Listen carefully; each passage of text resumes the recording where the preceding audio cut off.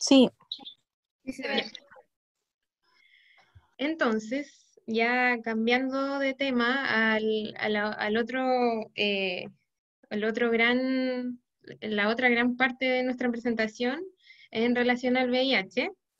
Y eh, para empezar, como para introducir un poco este tema, eh, primero quisimos también volver a, tomar un, pedacito de la historia y contarles que el VIH, en los casos, se empezaron a ver en la década de los 80 aproximadamente.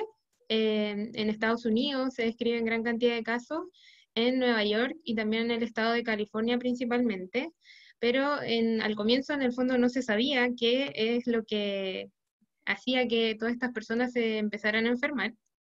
Entonces, ya en 1983, tenemos acá eh, estos dos personajes, que es Luc Montagnier versus versus, entre comillas, Robert Gallo, eh, ellos dos eh, tenían, eran científicos ambos, pero con líneas de investigación distintas, y los dos en forma paralela empezaron a buscar un poco el origen de este virus, y existe una especie de competencia, o, o, por así decirlo, polémica un poco sobre cuál de los dos fue el que finalmente descubrió el VIH. Eh, se, hicieron algunos estudios de las muestras que eh, presentó cada uno y al final se llegó a la conclusión de que Luc Montagnier, que es, el, francés con su equipo, fueron los que eh, finalmente descubrieron el VIH, pero Robert Gallo también tiene un papel súper importante acá porque él fue el que en el fondo correlacionó este virus con los síntomas del SIDA. Y bueno, en general ellos dos los dos están vivos y, se llevan bastante bien y todo, y han recibido una serie de premios, eh, entre ellos Luc Montagnier recibió el Nobel. Eh, y bueno, el origen del virus eh, no está claro, no se sabe de dónde apareció, hay muchas teorías, se cree que empezó en África y que se, se contagió de estos simios, que existe esta teoría, eh, porque hay un virus muy parecido en, esta especie, que es el virus de la inmunodeficiencia en los simios, y se cree que eh, personas que cazaron o comieron carne de estos simios pudieran ser los que empezaron en el fondo con el traspaso, pero no se sabe bien en el fondo este salto interespecie, no hay nada bien claro. Y se cree que incluso en la década de 1930 ya podría estar rondando el virus por el tiempo que se necesita para ir mutando y los cambios que requiere. En la actualidad, el VIH entonces es una pandemia, afecta a nivel global y existen en todo el mundo 75,7 eh, millones de casos y muertes hay aproximadamente 32,5 millones. La mayoría de los casos se encuentran en el África subsahariana, aproximadamente dos tercios de los casos totales y también un porcentaje muy importante de las muertes eh, ocasionadas por el VIH. Acá entonces para eh, recordar, en realidad, eh, queríamos decir que el virus VIH entonces genera una infección que en caso de no mediar ningún tratamiento ni ningún cuidado en 5 a 10 años eh, genera la infección SIDA. El virus VIH es un virus RNA de la familia retroviridae y existen dos tipos, el 1 y el 2. El 1 es el que tiene mayor potencial patogénico y es el que está más diseminado en el mundo. También existen eh, una serie de genotipos eh, del VIH que van desde la A a la J. En nuestro país el más frecuente es el tipo B. Y queríamos recordarles la estructura de este virus porque más adelante vamos a ver un poco las formas de detectarlo y ahí se nombran un poco algunos de estos componentes. Entonces tenemos la eh, bicapa lipídica, donde existe una envoltura de glicoproteínas, donde está acá la glicoproteína 120 y la 41. Después de esto, eh, tenemos una cápside, en donde tenemos la proteína 17 de la matriz, luego el core, que está formado por distintas proteínas, y acá destaca la P24, eh, y en su interior está entonces el nucleoide donde encontramos las dos hebras de ARN monocatenario y eh, las enzimas que acompañan al virus, que son la transcriptasa inversa, la proteasa y la integrasa.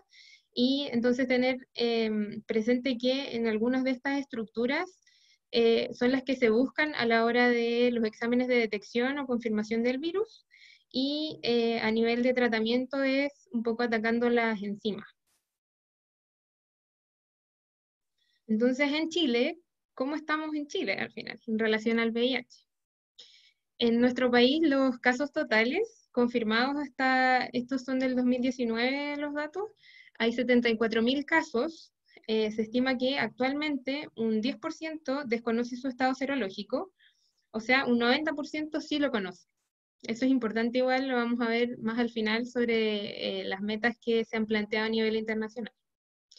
Chile entonces es uno de los 10 países donde más se ha visto un aumento de los nuevos casos en forma eh, porcentual, proporcional en el fondo, eh, y a nivel de Latinoamérica estamos liderando en el aumento de los casos.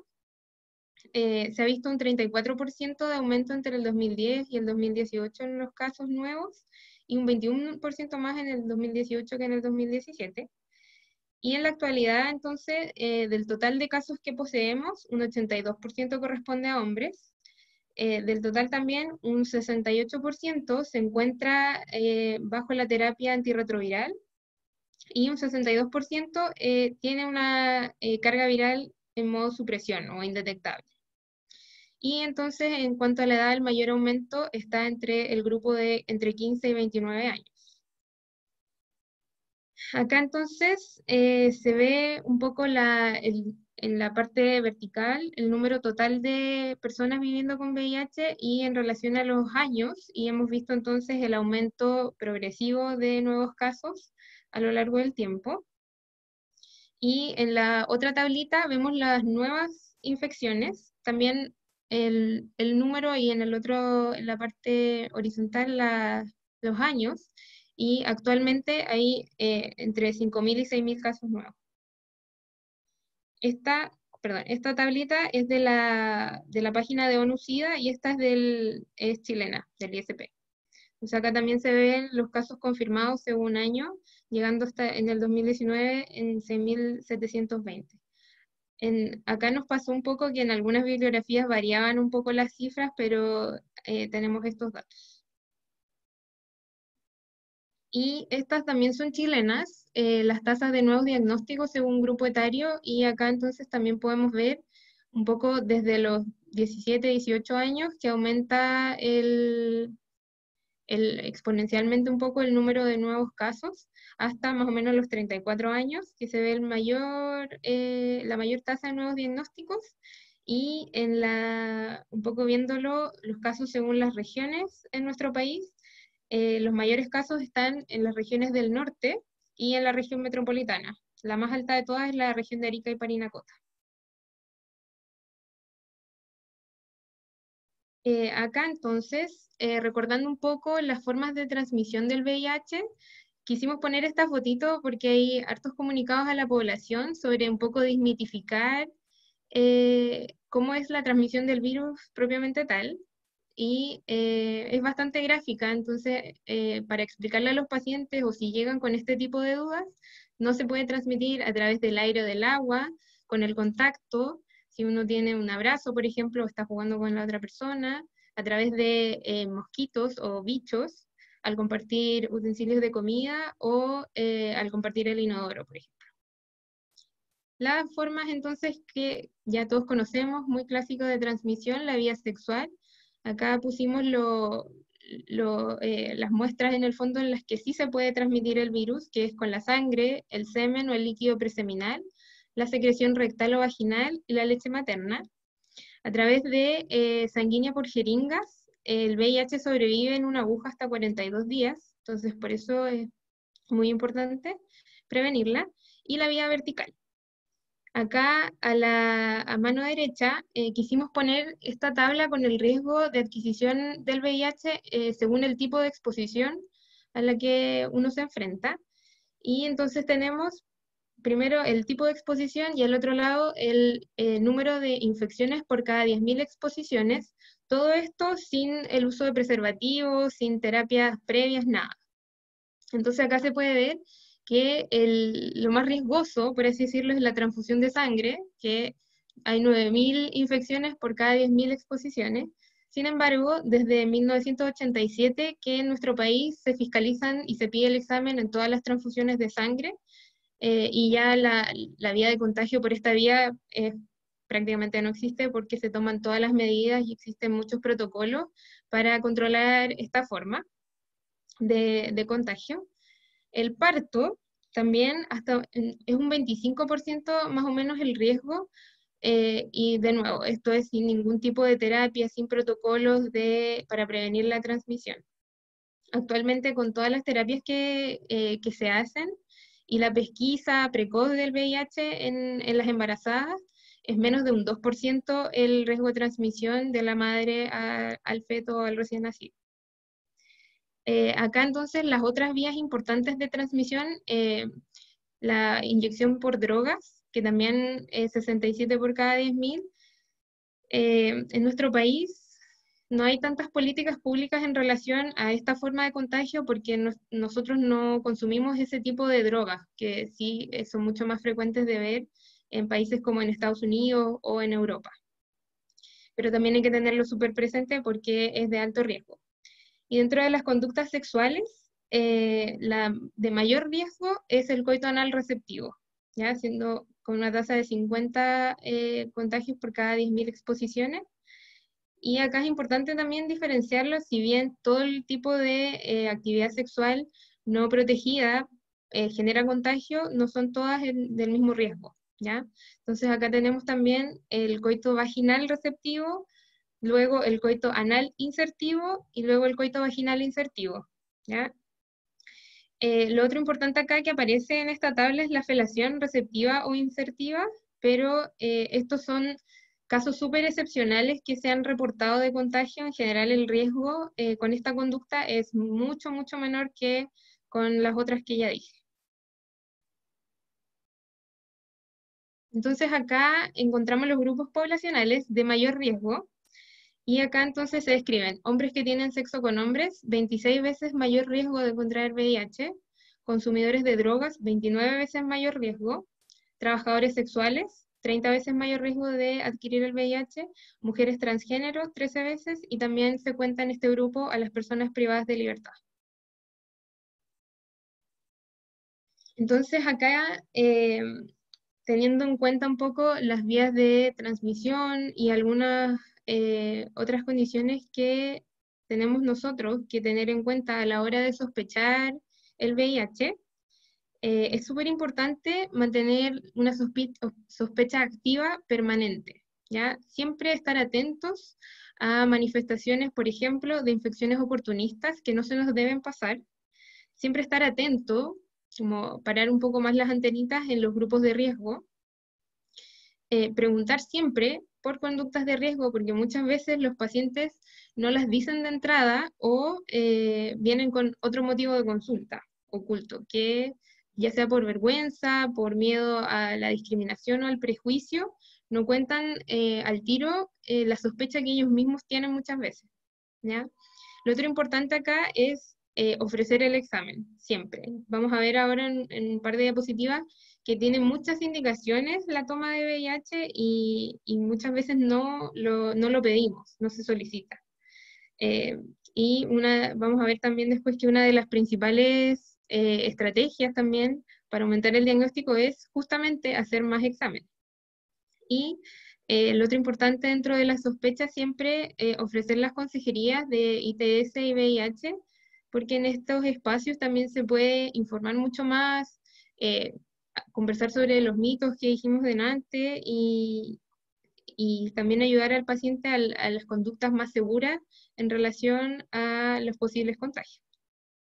Entonces acá eh, quisimos ponerle eh, cómo se manifiesta la prima infección por VIH y como ven acá son síntomas muy, muy inespecíficos, entonces es súper fácil que se pasen estos pacientes. Por ejemplo, la fiebre, dolores corporales y malestar general, en algunos casos también se presenta el exantema y también la linfadenopatía.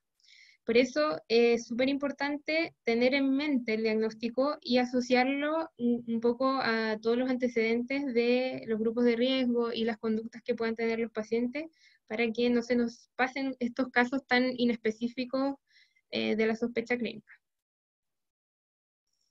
Entonces acá quisimos ponerle una parte de las infecciones oportunistas, porque muchas veces llegan eh, manifestando este tipo de, síntomas, de manifestaciones, y tenemos que, como dije ya, eh, saber identificarlas.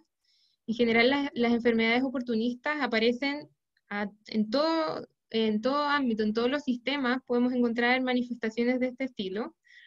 Eh, y de las más importantes a destacar las de boca y garganta, en la cavidad oral se generan una gran cantidad de lesiones y manifestaciones que son fáciles de identificar haciendo un buen examen físico eh, y una buena anamnesis. Las otras, bueno, todas las manifestaciones neurológicas que son igual frecuentes en las infecciones oportunistas, eh, y bueno, acá estas se originan por eh, microorganismos de parásitos, de virus y de bacterias, entonces también eh, atento a las manifestaciones o focalidad neurológica. Y eh, las otras importantes son las pulmonares, porque también muchas de las infecciones oportunistas eh, se generan con síntomas respiratorios. Y lo otro a nivel de piel, que también son fáciles de ver, de identificar en la consulta, haciendo un examen físico completo. Entonces siempre pedirle al paciente que se desnude completo para poder examinar toda, la, hacer un examen completo en el fondo para poder identificar posibles lesiones eh, y no se nos pase. Y acá entonces quisimos ponerle la, la, típica tablita que compara el nivel de CD4 en relación a los síntomas de los pacientes. Entonces tenemos que en la categoría A están las infecciones agudas, que pueden ser asintomáticas o no, y eh, las linfadenopatías generalizadas, Luego las C son ya trastornos mucho más floridos, que son indicadores de SIDA, y las B son eh, infecciones sintomáticas, pero que no caen en ninguno de los otros dos grupos. Y en la categoría de eh, conteo de CD4 tenemos a los mayores o iguales a 500, entre 200 y 499, y los menores a 200, y todos los que están en rojo es los que se considera etapa SIDA. Entonces, acá les pusimos todas las posibles infecciones oportunistas, que son muchas, no las vamos a ver, pero eh, lo que, con lo que queríamos que se quedaran un poco es en ir a, ir a buscar según los síntomas un poco, que eh, como les dije antes, buscar siempre, bueno, las linfadenopatías generalizadas, estas infecciones que se van cronificando en el tiempo, eso es importante porque acá vemos bastantes trastornos que son de un mes de duración, por ejemplo, como la candidiasis orofaringia, los síndromes diarreicos, síndrome febril, la baja de peso, que es bastante clásica, el herpes zóster, por ejemplo, tener más de un episodio o más de un dermatoma comprometido, ahí hay que poner atención. Y otras, como ya, lo, como les dije antes, síntomas respiratorios, infecciones como neumonías a repetición en los pacientes que pudieran ser de mayor riesgo y todas las manifestaciones neurológicas o de piel que se ven en gran parte de las infecciones oportunistas. Acá entonces eh, quisimos mostrarle un par de, manifestaciones, eh, más que nada en la piel y mucosas, que son más fáciles de identificar, por así decirlo. Tenemos acá la primera foto a la izquierda. Eh, este es un paciente con un síndrome retroviral agudo que presentó la, la manifestación de exantema y eh, se describe que se parece como a un síndrome mononucleósico, como a ese tipo de exantema que se ve en estos casos. Eh, acá entonces tenemos eh, después la figura 5, la leucoplasia vellosa oral, que son estos engrosamientos en las partes laterales de la lengua, hiperqueratóxico, esta se produce generalmente por Epstein-Barr, la candidiasis oral, que muy conocida, esta es mucho más frecuente de ver en los pacientes. Ah, y acá hacer la diferencia, que no la dije en el cuadro anterior, que la candidiasis oral se considera etapa B, pero cuando ya es eh, esofágica o del árbol bronquial, se considera el tiro etapa SIDA. Y acá, bueno, mucho más eh, em, difícil de ver en realidad y, un cuadro mucho más eh, decidor del, del VIH, que es el sarcoma de Kaposi. Bueno, em, ahora que hemos entrado un poco más en terreno con, con, el VIH y vimos los grupos de riesgo y la enfermedad oportunista y el diagnóstico, nos gustaría preguntarles cuáles han sido sus experiencias eh, en pacientes con, a los que le han diagnosticado o han sospechado VIH, antes de presentarles el caso sí. Queremos abrir la palabra. Ya hablamos mucho. Eh, ¿Yo puedo contar algo? O sea, eh, con mi poca experiencia, he visto a... Mm, generalmente a los que he, visto pacientes con VIH no me ha tocado diagnosticarlo a mí, sino que ya están diagnosticados, ya estaban en control en el hospital. Eh, pero sí me ha tocado que siempre vienen con una patología de salud mental asociada y que eso lo vemos en el consultorio. Entonces, mm, como para que no se olvide eso. Sí, sí, lo que decís tú, Vero, lo vamos a ver también porque es súper importante al final, eh, como decía la Ángel, el estigma y la, y la, discriminación con respecto a las políticas públicas, como el alcance que puede tener. ¿Alguien más que quiera contar? Eh, yo quisiera también comentar alguna experiencia. Eh, escucha, en verdad es como en relación al, al, al, tema de la enfermedad propiamente tal, es como algo que, que por lo menos de trabajante me dicen que me preocupaba bastante al equipo, que uno, la alta tasa, por ejemplo, que habían de casos nuevos en pacientes adolescentes y jóvenes, pero también lo que llevaba mucho la atención era la poca conciencia y como el, el tomar como conciencia de lo que significaba tener la enfermedad.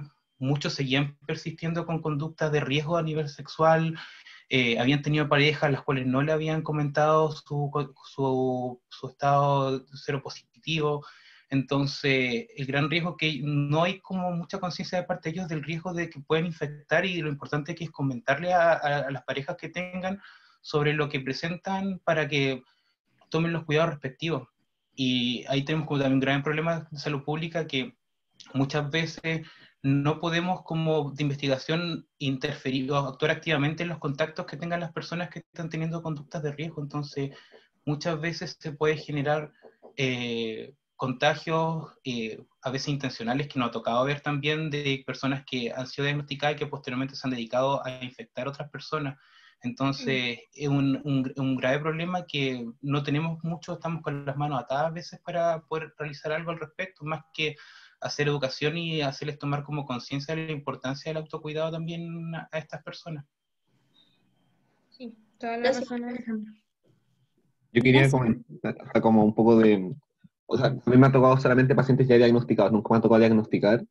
Y en general, si cuando llegan a control, eh, asintomático, lo que sea, de repente llegan como por chequeo médico, eh, les, generalmente les pedía el VIH, pero es algo súper engorroso al final, porque hay que, es, primero, es una en Rayana hay que tener una actividad distinta, que se le firmar después el consentimiento, que es una hoja aparte, eh, explicarle al paciente además, entonces es una cosa que de repente en un, es, es bien engorroso, debería ser como una algo más fácil de pedir, en verdad, de repente por eso al final uno no lo pide, por ejemplo, ahora no es fácil encontrar los donde está el consentimiento, porque si no, no se lo van a tomar, eh, eh, al final son más bloqueos para, para, diagnosticar a los pacientes, son como, siento que es una, no es algo que ayude mucho. Sí. También lo vamos a ver más adelante. Yo también quería comentar. Eh, Tatiana y después Natalia, o no sé si están... A mí me pasó una experiencia con una paciente que era VIH, ella, y la pareja no era VIH, y eh, siempre iban como para ver si yo le podía hacer el examen a la pareja. Y en ese momento no sabía cada cuánto se lo tenía que hacer, así que se lo hacía más o menos cada seis meses. Eh, porque ellos igual tenían en fondo relaciones, eh, la mayoría de las veces con preservativo, pero también tenían relaciones sin preservativo.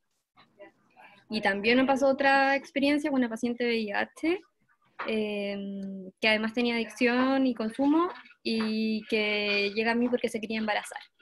Entonces en ese momento fue como, para mí fue súper complejo, eh, traté de, como de persuadirla a que esperáramos a, primero a tener un tratamiento formal de VIH, porque ella como que lo tomaba, lo dejaba, lo tomaba, lo dejaba, y bueno, no alcancé, finalmente ella estaba embarazada el mes siguiente que la vi. Y para mí esa igual fue una experiencia como, como bien difícil, como poder acompañarla también como sin juzgar desde ese punto de vista, como en el fondo quien decide embarazarse estando con un tratamiento que no cumple y fue súper complejo en ese momento. esa es mi experiencia. Gracias a ti. Eh, yo tengo, he tenido varias experiencias diagnosticando VIH. Yo creo que unas cuatro o cinco veces me ha tocado decir a los pacientes que el examen está positivo. Y han sido todas bastante particulares, pero una de ellas me recuerdo que apenas yo vi el paciente pensé que era positivo, que era un paciente que tenía una adenopatía cervical enorme de meses, lo habían visto varios colegas en ese SFAM, le habían dejado antiinflamatorios, le dejaron tratamiento antibiótico, le repitieron, le aumentaron el tratamiento antibiótico y nadie nunca le pidió ningún examen. Un paciente joven, homosexual, que él te lo decía como un antecedente en la, en la entrevista, o sea, él gritaba que quería el examen de VIH, pero no lo pedía. Y eh, yo se lo pedí y cuando salió positivo y lo llamé para que, o sea, lo llamó la matrona para que viniera a un control conmigo, él me dijo, yo ya sé por qué usted me llama. O sea, él ya sabía. Eh, y quizás siempre lo pensó, pero nunca lo dijo. Y se lo tomó bastante bien para mí, porque para mi fortuna, porque fue la primera vez que yo lo diagnostiqué y estaba un poco nerviosa. Pero él se lo tomó bastante bien, él dijo que tenía bastantes amigos con condición de VIH y como sabía que existía un tratamiento, fue bastante bueno desde ese punto de vista. Y otro caso bien particular que me tocó fue una paciente con VIH, que fue muy sincera, una paciente joven, 30, 40 años, que me dijo que ella tenía VIH, pero venía a solicitar el examen. Y yo así como, ¿por qué? si ya sabe, estaba en tratamiento y todo. Y me dijo porque quería demandar a su expareja que se lo había contagiado y necesitaba el examen positivo y ella no lo tenía. Y yo no sabía si desde el punto de vista médico era correcto pedirle el examen porque yo sabía que había una solicitud, que se iba a una parte, a una cosa legal. Entonces ella ya estaba positiva. Finalmente eh, se lo pedí igual, pero también me encontré en esa encrucijada si era correcto o no pedírselo. Ella me lo pedía y yo pensaba, si me hubiera pedido un hemograma, yo quizás sí se lo hubiera accedido a tomárselo, pero no sabía si el tema del VIH era tan sencillo. Esa es como una de mis dos experiencias. Gracias, Nati. JP. Ya. Bueno, a mí por suerte, o sea, me tocó una vez diagnosticar un síndrome retro, un paciente que tuvo un síndrome retroviral agudo, que creo que me dejó muy marcado como la presentación clínica.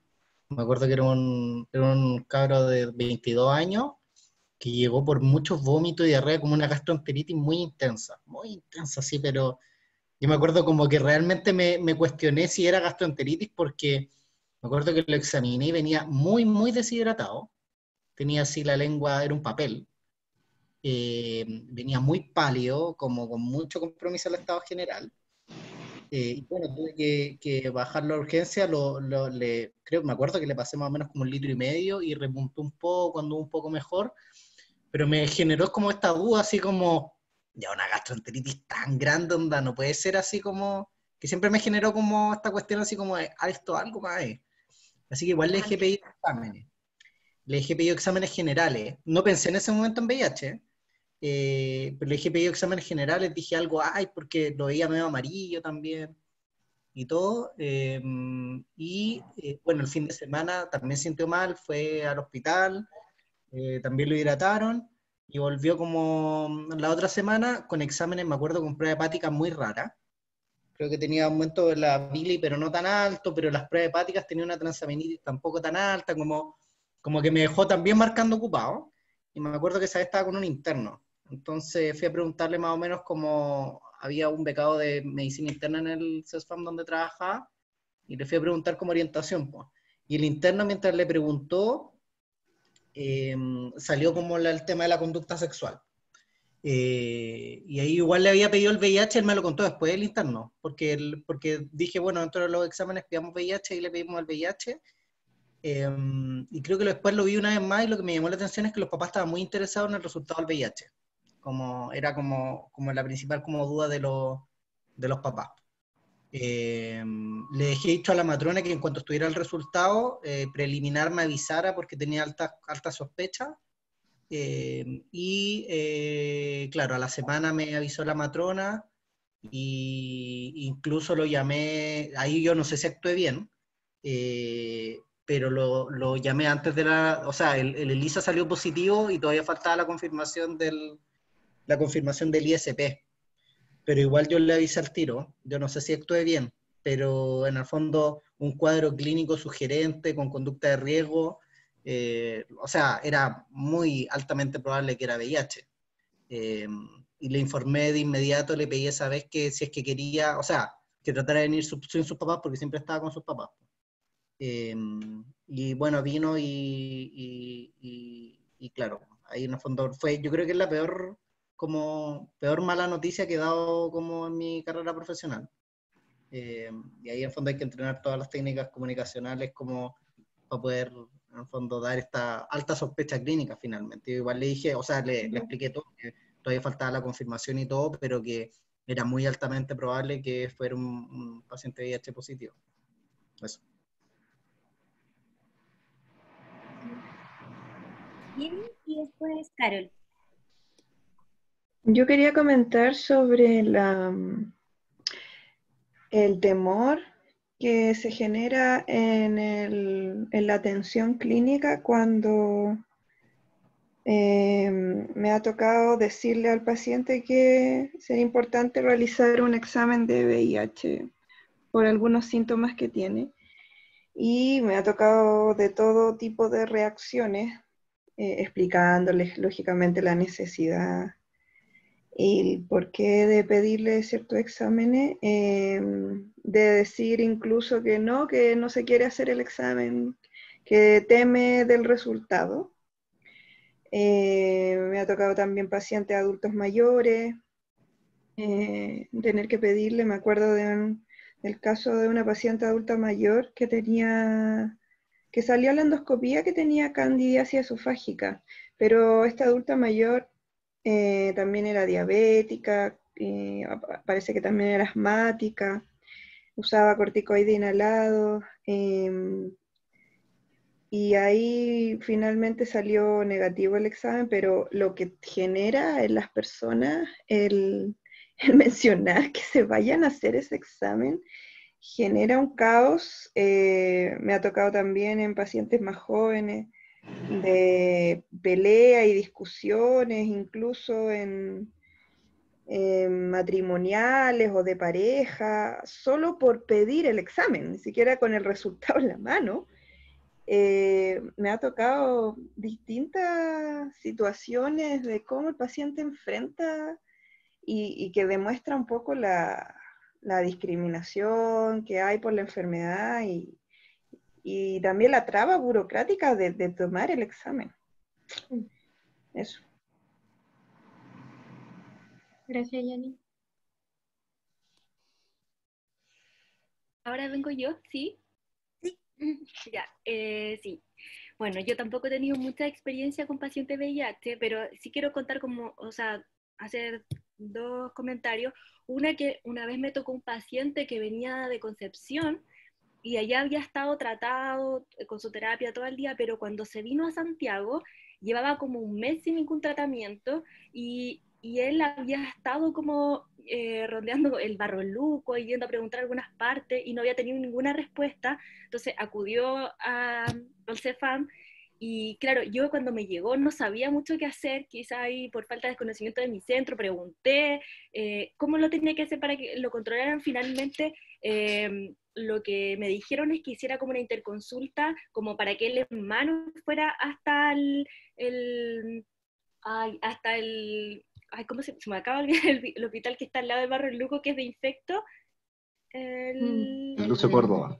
Lucio, claro, con interconsulta en mano para que volvieran a controlarlo. eh, y yo escribí un correo también al Lucio a, a ver si alguien lo recibía. No supe más de ese paciente, pero entonces, como eso, como que quizás debería haber algún plan como de seguimiento en que todos los centros supiéramos qué hacer con estos casos, porque llevaba como un mes dando vueltas, buscando cómo, cómo tratarse y, y- y no lo había conseguido. Y lo otro que quería hablar era como de que todavía las campañas nacionales de VIH son súper estigmatizadoras. Hace poquito salió una, no sé si la vieron, como de la, del INJU, en que decía como habían unas, unas caras de puros hombres, así como, ¿con cuál de estos no usaría Ah, sí. condón? Como que, en Sí, sí, verdad, he yo siento que este tipo de campañas como que no, no hacen ningún beneficio a como a hacer como un diagnóstico, a des- desestigmatizar y a poder hacer un control adecuado de la enfermedad. Eso. La ¿Alguien razón. más que quiera? ¿No? A mí me pasó una vez, me tuve una experiencia, pero fue en el SAPU. Era un paciente joven de aproximadamente unos 30 años que estaba con fiebre y tenía tos. Entonces ya al hacerle la anamnesis le pregunté eh, hace cuántos días estaba así, estaba un poco con saturación límite de 93, que me llamó la atención para ser tan joven, y al examinarlo lo encontraba súper obstruido. Entonces dije, qué raro, me llama la atención tu cuadro, y me dijo, eh, mira, te cuento algo, la verdad, yo eh, soy VIH positivo. Y yo le dije, ya, ¿y, en qué estás en tratamiento? Me dijo, no, lo que pasa es que no me estoy tratando. Y bueno, yo ahí tuve como gritos internos. le expliqué por qué, o sea, le pregunté por qué no se estaba tratando y me decía que la ciudad era tan chica que en verdad eh, no quería que las demás supieran que él, él tenía VIH. Entonces, le decía que por qué no se iba a tratar a una parte donde no lo conocieran, como que en realidad fue lo que yo le sugerí, pero le dije que era muy importante que eh, se viera, se controlara y que estuviera en tratamiento, porque si no las consecuencias podían incluso llegar a ser fatales. Y le dije que en ese momento yo no le podía dejar ningún antibiótico, que tenía que ir al hospital porque había que tomarle exámenes, podía hacer cualquier cosa.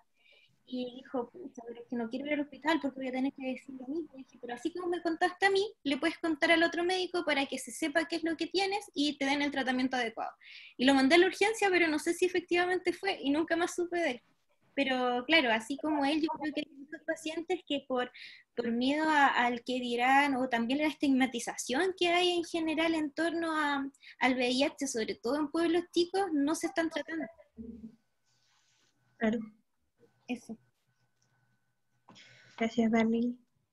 Muchas gracias por, por todas sus eh, historias y experiencias. En verdad lograron eh, entre todos recopilar eh, muchas cosas que vamos a tratar que tienen que ver con, con el estigma y la vergüenza de, de, que tanto mi familia como la gente del CEFAM o, o mi comunidad sepan que tengo VIH. El tema de la burocracia, que yo creo que tiene también mucho que ver en, no pedir el examen, no hacer consejería eh, o ni siquiera firmar el consentimiento muchas veces. Lo que decía la Carol también de las, de las campañas que no ayudan a desestigmatizar y que tienen mucha implicancia en cómo las políticas públicas que hasta el momento se han implementado en Chile y el mundo no sirvan de nada. Eh, y también lo de las antenitas que decía como el JP, como eh, siempre llega un momento en que se nos para la antena y frente a la mínima sospecha eh, también, como decía, lograr de alguna manera con las herramientas comunicacionales que tenemos y tratando de contener el ambiente, pero solicitar el examen. Independiente como del caos que quede, como tratar de exponer la relevancia que tiene, saber si es que son VIH positivos o no. Bueno, yo les voy a contar un caso que tuve yo el año antepasado, eh, para, y, donde también es transversal muchas cosas que han dicho con, con mi caso consultó un joven de 19 años con su hermana mayor, eh, y ella fue principalmente como la que guió la entrevista. Eh, él estaba como muy nervioso y como muy tímido. Eh, consultaba porque tenía lesiones típicas de herpes zóster intercostales y consultaba principalmente por el dolor, que habían aparecido hace tres días y de manera secundaria se como esto de que había bajado de peso el último año harto, más o menos 10 kilos que él sentía que la ropa le quedaba grande y todo. Eh, y mientras avanzaba la entrevista con estas dos cosas, que a mí al tiro, como que dije, ya, este chico obvio tiene alguna inmunodeficiencia, eh, incluso nos miramos, pero nadie explicitó la necesidad de tomar el examen, eh, que yo creo, no sé si habrá sido como un error mío o no. y bueno, yo le dejé tratamiento para el dolor y todo, y lo cité al día siguiente, sin compañía de la hermana, para hacer un control de cómo andaba su dolor y también porque quedaba un motivo de consulta pendiente que aparecen lesiones o dolores en, el ano. O sea, algo que claramente no quería hablar frente a su hermano. Dale. Entonces, eh, se me pegó,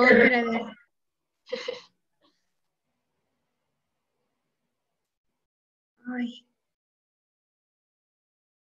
Perdón, perdón. No sé por qué se... Quizás tuvo mucho rato como sin moverse.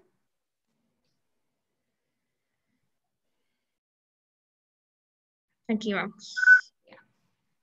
Entonces, el ambiente era tenso. Yo sabía que había algo que me estaba faltando, pero no había sentido la... Eh, no sentí que el ambiente con la hermana ahí al lado fuera propicio como para pedirle el examen, entonces decidí tomar la opción de citarlo al día siguiente solo. Sin embargo, el chico, dale la siguiente.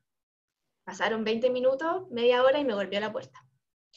Sí, la hermana, que parece que estaba buscando los medicamentos. Y me dice dirigidamente que estaba preocupado, que él se acordaba que había tenido eh, un contacto de riesgo hace tres meses eh, y que quería tomarse el examen porque creía que estaba contagiado. Entonces entré con él y empezamos a hablar al final, eh, porque tenía miedo, me dijo, ¿y qué pasa si es que me contagié efectivamente con esa única relación sin protección? Como, ¿qué voy a hacer si tengo el, el virus? Y empezamos con todas estas cosas del tratamiento, etc. Vale. Em, y como decía Langi, existen muchos muchos escenarios en que debiésemos pedir el examen, y no lo hacemos por las, por las causas que ya hemos discutido, em, al menos ojalá hacerse una vez el examen como screening entre los 3 y los 64 años, sobre todo si pertenecemos a algún grupo de riesgo, tenemos conductas que ya hemos comentado, eh, en los hombres que tienen sexo con hombres. Eh, ¿Por qué? Porque generalmente las relaciones de penetración anal, como decía la Angie, sobre todo si son eh, sin protección, producen micro lesiones que hacen que el virus se propague de manera más fácil. Eh, el uso de drogas endovenosas cuando se comparten, por ejemplo, las jeringas, em, sexo vaginal o anal no protegido, como dijimos recién, sobre todo cuando es receptivo. Si tenemos relaciones sexuales con alguien que sabemos que está infectado de VIH, también hacernos la prueba, por supuesto.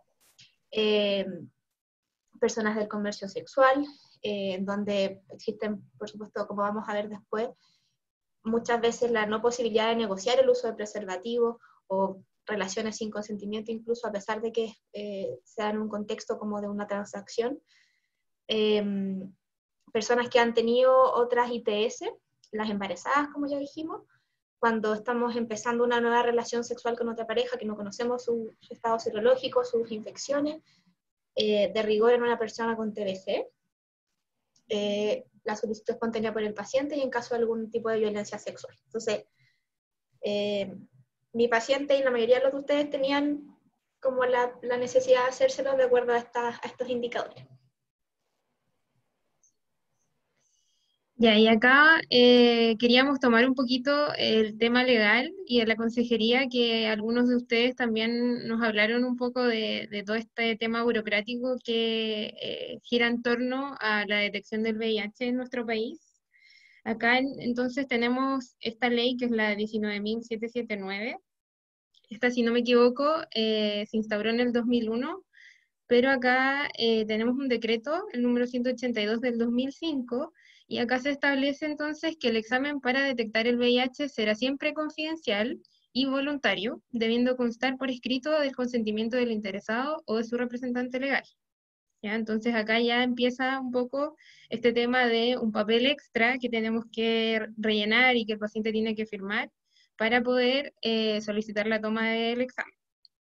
Y además eh, tenemos acá el artículo tercero y cuarto de la entrega de los resultados se establece como un proceso personal y reservado, pero que no impide las notificaciones epidemiológicas que se requieran para fines estadísticos. Y eh, el artículo 9, entonces, de la entrega del resultado también, tanto si es positivo como negativo, será con una consejería al interesado, y acá, bueno, se habla que lo ideal es que la misma persona que sospechó y que le hizo la consejería eh, previa a la toma del examen sea la misma que la que le entrega el resultado, un poco. Esto vemos que en la realidad no es tan así, pero es lo que debería ser. Y eh, al entregar el resultado, entonces, eh, se le entrega aparte información que permita la toma de decisiones informadas sobre sus comportamientos futuros. Entonces acá nos metimos un poquitito en el tema de la consejería pretest o de la educación pretest que se le llama en relación a la toma del examen.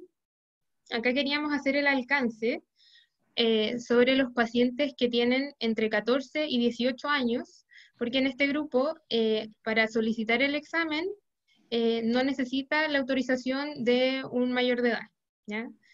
Entonces la persona entre 14 y 18 años puede ir y, se le puede solicitar el examen sin ningún problema. Lo que sí se hace en estos casos, si es que el paciente viene solo, eh, y es menor de edad, se le sugiere obviamente eh, que es muy importante hablar de este tema con un adulto significativo, con los padres, si es que tiene una buena relación con ellos, y que eh, sea una persona mayor de edad la que lo acompañe a la entrega del resultado. Esto es lo que se sugiere porque, bueno, después en el resultado vamos a ver cómo se procede, ¿ya? Pero en un menor de edad debido a las implicancias que tienen los posibles resultados, lo ideal es que venga con alguien. Entonces, también en, la consejería, antes de tomarse el examen, se le debe informar a los pacientes sobre el VIH, qué es el VIH, cómo se transmite, cómo se previene. Es, muy importante dar esta información preliminar sobre la patología que estoy buscando. Eh, sobre el examen en sí, se informa sobre cómo es el procedimiento de toma, eh, súper importante aclarar los periodos de ventana eh, cuando estoy tomando el examen, porque muchas veces esto influye en algunos resultados y, a veces hay que repetir los exámenes. También se le deben explicar los posibles resultados, el positivo y el negativo, y entonces acá al final la firma del consentimiento informado, que el paciente que acepta el examen se firma y en el que lo rechaza también debe firmar. Y acá también se sugiere, se sugiere siempre eh, en, este, en esta instancia ofrecerle un espacio eh, donde se hace la consejería de prevención, porque si bien acá uno conversa un poco el tema del VIH, eh, acá se le explican muchas cosas al paciente, entonces para, para, que se puedan discutir en forma más tranquila y con mayor detalle, algunos, no sé, dudas que tenga el paciente, más información o métodos de, de seguridad un poco, al enfrentarse a los riesgos, es bueno ofrecer este otro espacio. Entonces, si, bueno, yo tengo la sospecha eh, o tiene cualquiera de las indicaciones que ya vimos de toma del examen, le hago la consejería pretest y el paciente accede, pasamos a la toma del examen en sí. Y eh, para detectar el VIH existen una serie de pruebas. Las primeras que vamos a ver son las de detección, en la que tenemos dos grandes grupos. Están las pruebas antígeno-anticuerpo y las pruebas de anticuerpo. En las primeras... ¿Ah? ¿Sí? Tengo una duda, como antes de pasar a la, a la parte de las pruebas, como para usted o la doctora Toro o quien sepa, que, no sé, una vez me tocó un caso, estábamos con la Romina Razabal atendiendo juntas, un paciente que eh, tenía, bueno, conductas de riesgo, tenía consumo de sustancias, alcohol, drogas, entonces como que venía para em, retomar su tratamiento por este consumo. Pero a la vez como detectamos conductas de riesgo sexual y eh, ambas estábamos de acuerdo en que era muy pertinente que este paciente se tomara el examen del VIH. El tema es que él se negaba, se negaba, se negaba a pesar de eh, explicarle los riesgos, él tenía una pareja estable, o sea, era casado hace mucho tiempo y había tenido eh, relaciones sexuales extramaritales con mujeres del comercio sexual, eh, pero él nos decía que no, que no, que no, que no se lo iba a tomar, porque si salía positivo su esposa lo iba a echar de la casa, entonces igual era una situación súper compleja que en esa primera consulta no logramos abordar. Mi pregunta va eh, orientada a que, ¿qué pasa si uno efectivamente tiene una alta sospecha de, contagio, o sea, de VIH, y sabemos que, bueno, eh, necesitamos el consentimiento del paciente para poder hacer el examen, pero que a su vez hay otras personas que están en riesgo, en este caso la, la esposa. ¿Cómo deberíamos proceder en el fondo? Porque sabemos que no lo podemos obligar, pero también hay una hay una responsabilidad con esta otra persona que, está en riesgo en el fondo. Ahí eh, es un caso súper complicado en realidad. Eh, de lo que nosotros buscamos acá, bueno, por ley, eh, acá, bueno, la doctora Toro nos corrige si es que nos equivocamos, pero por lo que entiendo no se le puede obligar en el fondo a este paciente a hacerse el, el examen si es que él no lo quiere, porque debe ser siempre voluntario. Em, y acá, bueno, yo creo que la, la, forma de hacerlo, uno para convencerlo a él es a través de consejería, como para explicarle bien los riesgos, explicarle la confidencialidad que conlleva. Y también lo otro que se le pide muchas veces a estos pacientes, eh, pero una vez en el fondo que ya tenemos el resultado, si es positivo, es el nombre de la o las parejas sexuales que, que haya tenido en los últimos seis meses, porque en esas son las que hay mayor riesgo. Y bueno, en, en esos casos siempre se asegura la confidencialidad de, de- del paciente de origen, por así decirlo, pero bueno, en el caso tuyo, si es que eh, supuestamente era pareja única, la esposa iba a enterarse igual. Claro, es que ese era el tema, porque nosotros sabíamos que si, que si efectivamente era positivo, eh, teníamos que contactar a su pareja, pero él decía que, que, o sea, yo creo que él sabía o tenía mu- también alta sospecha de que podía estar contagiado y que por algo no quería tomárselo, pero claro, en el fondo estaba todo este contexto de que la pareja ya le estaba dando un ultimátum por el tema del consumo y asociado a esto que si se enteraba de que tenía VIH lo, lo iba a echar, pues, o sea, lo iba a echar de la casa y iba a romper la relación. Entonces, claro, tratamos de hacer consejería, pero fue súper complejo, súper complejo porque él, no, él decía, yo no vengo por esto, yo vengo para que me ingresen al SENDA, no me interesa hacerme exámenes, entonces, eso. Sí, sí, o sea, ahí yo lo que, lo que se me ocurre a mí en realidad es como solamente tratar eh, con, como quizás en varias sesiones de tratar las barreras y estas asperezas o, o incluso como mitos, desconocimientos que pueda tener, que haya podido tener ese paciente, porque al final hoy en día el VIH es como una enfermedad crónica más, como el tratamiento en realidad hace que eh, las personas puedan vivir mucho tiempo, y, pero como tiene todo esto, este estigma, este prejuicio, esta discriminación asociada, quizás eso es lo que a él más le preocupaba un poco de, y bueno, y que descubrieran, no sé, su infidelidad o, o su, su, es- estas múltiples otras parejas que tenía él. A ver, si me permiten un comentario, un tema bastante álgido el que plantean y que reviste ciertas complejidades. Eh, lo primero, porque eh, en, hoy día están todos los elementos sanitarios a la vista y en razón de aquello, eh, más allá del abordaje, el tratamiento y todo lo que reviste el- en el fondo el VIH o vivir en situación de VIH, tiene que ver con lo cultural asociado a los relacionamientos de pareja, en este caso, o familiares o, con- o sociales, de la infidel- infidelidad. Eso es más crítico que hoy día, que tal cual se plantea, que los efectos sanitarios mismos. Ahora, hay ciertas condicionantes donde eh, es exigible la aplicación del test, que son en contextos legales, instruidos por fiscales en, el ámbito de alguna investigación o de alguna denuncia o demanda que se haya interpuesto. Eh, en el caso de la detección de menores que hayan tenido alguna condición de exposición también por la protección del menor, que pudiera ser exigido el, el desarrollo del examen.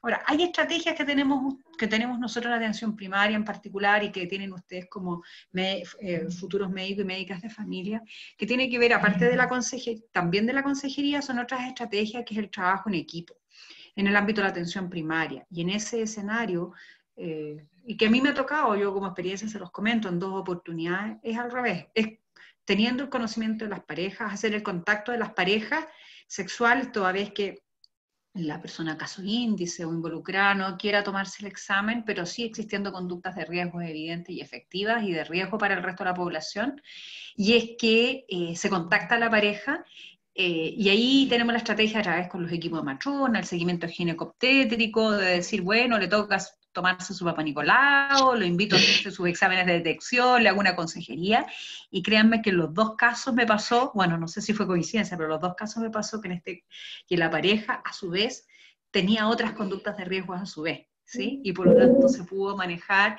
las parejas tuvieron disponible hacerse la detección de los exámenes, y desde ahí llegar a al caso índice. Al revés, dar la vuelta larga, pero exponer finalmente en el trabajo con consejería la situación que se está develando en la relación de pareja. ¿Ya? Eso por un, por un lado.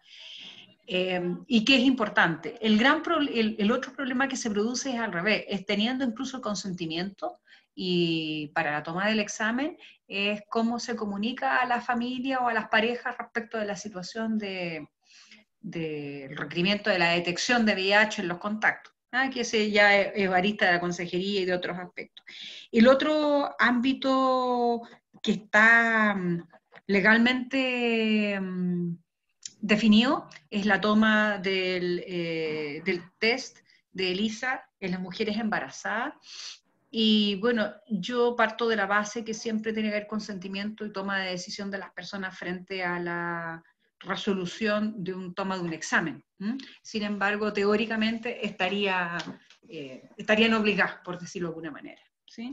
Pero siempre creo que el don de la palabra y la comunicación y el arte de la seducción y de los, buenos consejeros que serán ustedes, o que ya son, eh, podrá eh, dimensionar esta, este ámbito.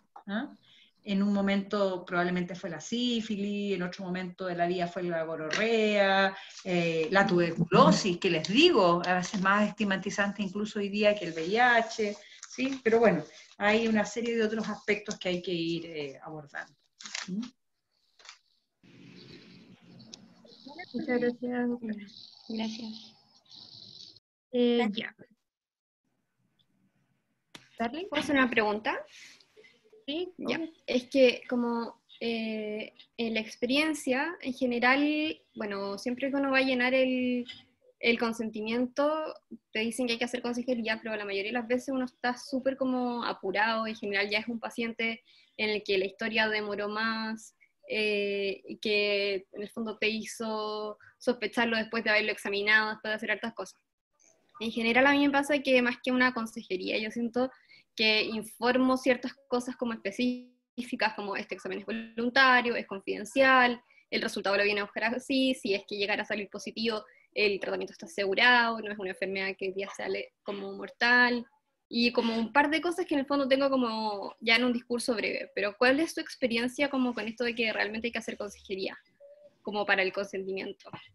¿La hacen o cuáles son como los, los temas que abarcan? En el fondo, en general yo trato como de ver como un poco los miedos y como, como en eso abarcar, pero en general lo hago muy rápido. Entonces, como me gustaría saber cuál es su experiencia en eso y realmente, porque a mí nunca me enseñaron a hacer esa consejería para, para VIH. Y, y eso, me gustaría ver como si es que tienen como alguna pauta o algo así. A ver, yo eh, de, dentro de mi experiencia y con otros profesionales, eh, pasan cuenta, Tati, de, que lo hace muy rápido, como dicen eh, algunos temas muy específicos, sobre todo eh, ahora hay que tomarse el examen, tiene que firmar acá, el resultado se, lo vamos a dar en persona, como ese tipo de, de especificaciones, pero más en profundidad sobre la enfermedad, por ejemplo, no se aborda mucho, por eso quisimos agregar esta parte de la consejería, porque de hecho existen varias orientaciones y, guías del MinSal que hablan de esto, de cómo hacerla, de qué cosas, y, por eso quisimos poner acá como qué cosas deben, eh, debe incluir esta consejería preexamen, porque es bastante importante, uno, porque estamos pesquisando un paciente que eh, puede no conocer otras cosas y a pesar de que quizás el examen le va a salir negativo, es súper importante que el riesgo se mantiene, básicamente, y, de tratar de ayudarlo un poco en, las, en las, los cambios de conducta, en la toma de decisiones y eh, tratar de minimizar los riesgos lo más posible. Eso es como lo que más me baso yo, pero también me pasa, como lo que tú contabas, que uno se demora mucho y siempre me he terminado atrasando mucho en ese tipo de, atenciones y, y, lo que pasa con el resto del personal que a veces solicita el examen es que lo hacen muy rápido y no incluyen casi nada de las cosas que comentamos recién.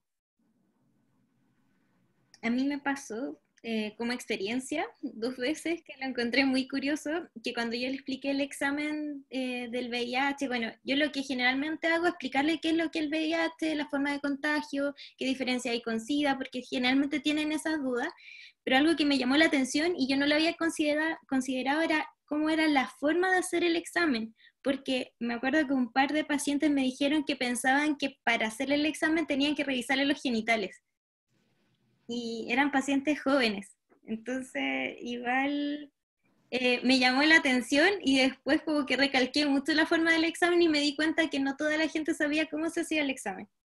Y que cosas que nosotros ya asumimos, ya dadas por esto, al final no es tanto en la práctica.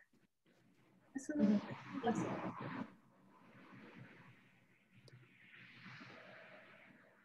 ¿Alguien más quería comentar o no? ¿No? Entonces sigo adelante. Eh, queríamos con- contarles un poco de las pruebas de detección, como les iba diciendo, eh, que existen estos dos tipos. Tenemos entonces de las pruebas de antígeno y anticuerpo, que eh, son bastante recomendadas como detección. Tenemos acá el examen de LISA, que es el más, el más usado de este tipo de pruebas, que ya está en la cuarta generación en uso. Este examen tiene una sensibilidad y especificidad bastante alta, pero sin embargo eh, sí necesita confirmación siempre.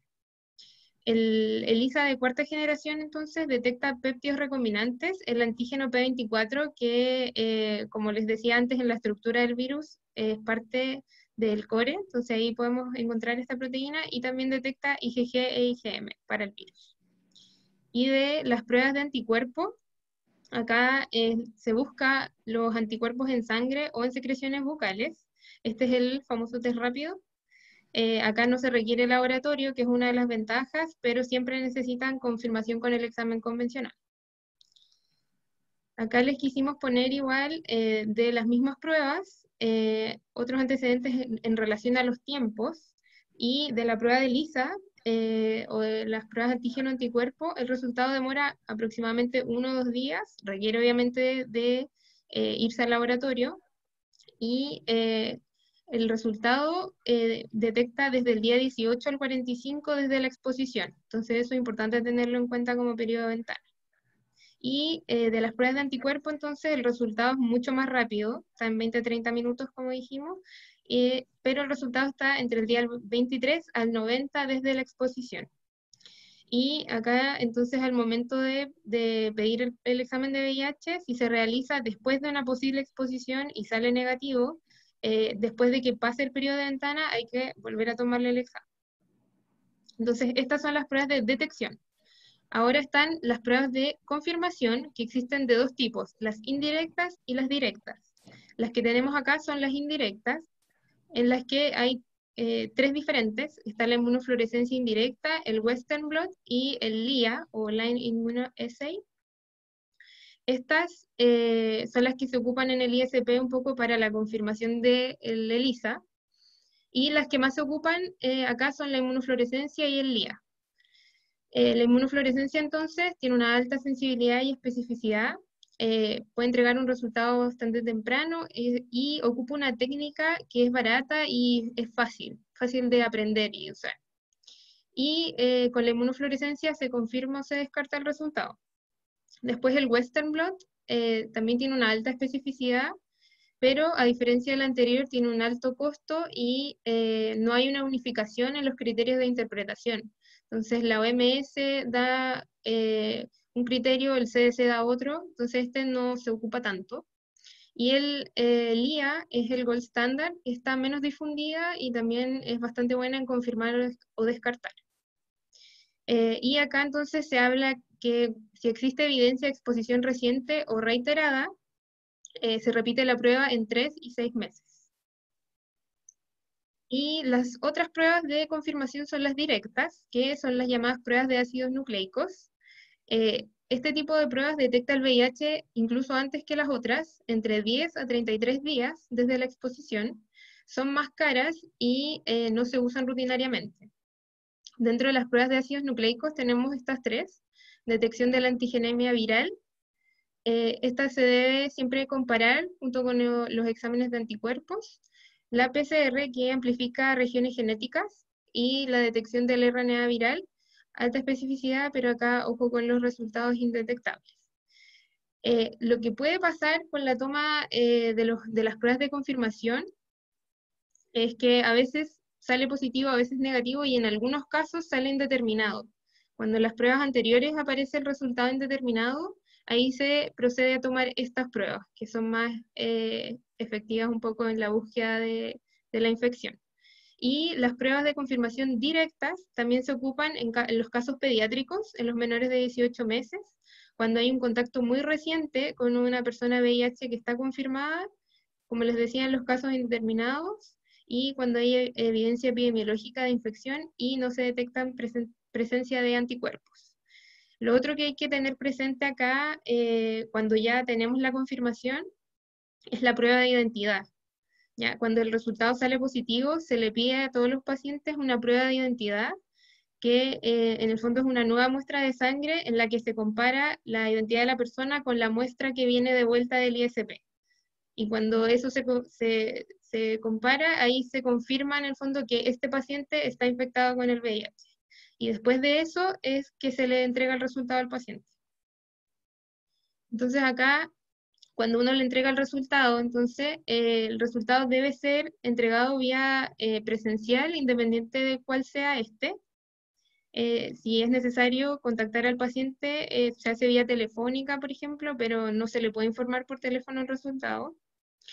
Eh, no se requiere presencia de representante legal ni tampoco informar a otras personas cuando el resultado es negativo. Esto tenerlo presente también para los menores de edad, entre 14 y 18. Si el resultado es negativo, podrían acudir solos.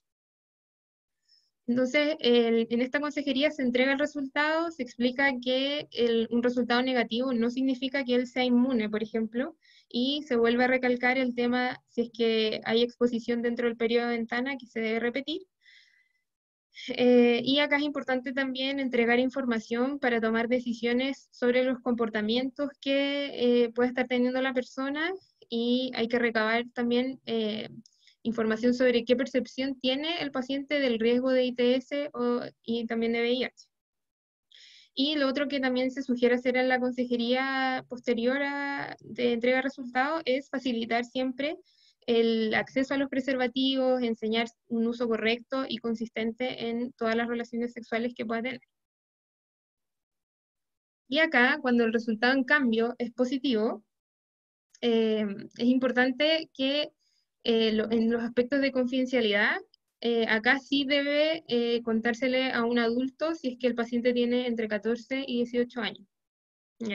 No es necesario que que vaya en ese momento con el paciente, pero ahí se debe romper la confidencialidad y se le debe decir a este adolescente que se le debe contar a un adulto.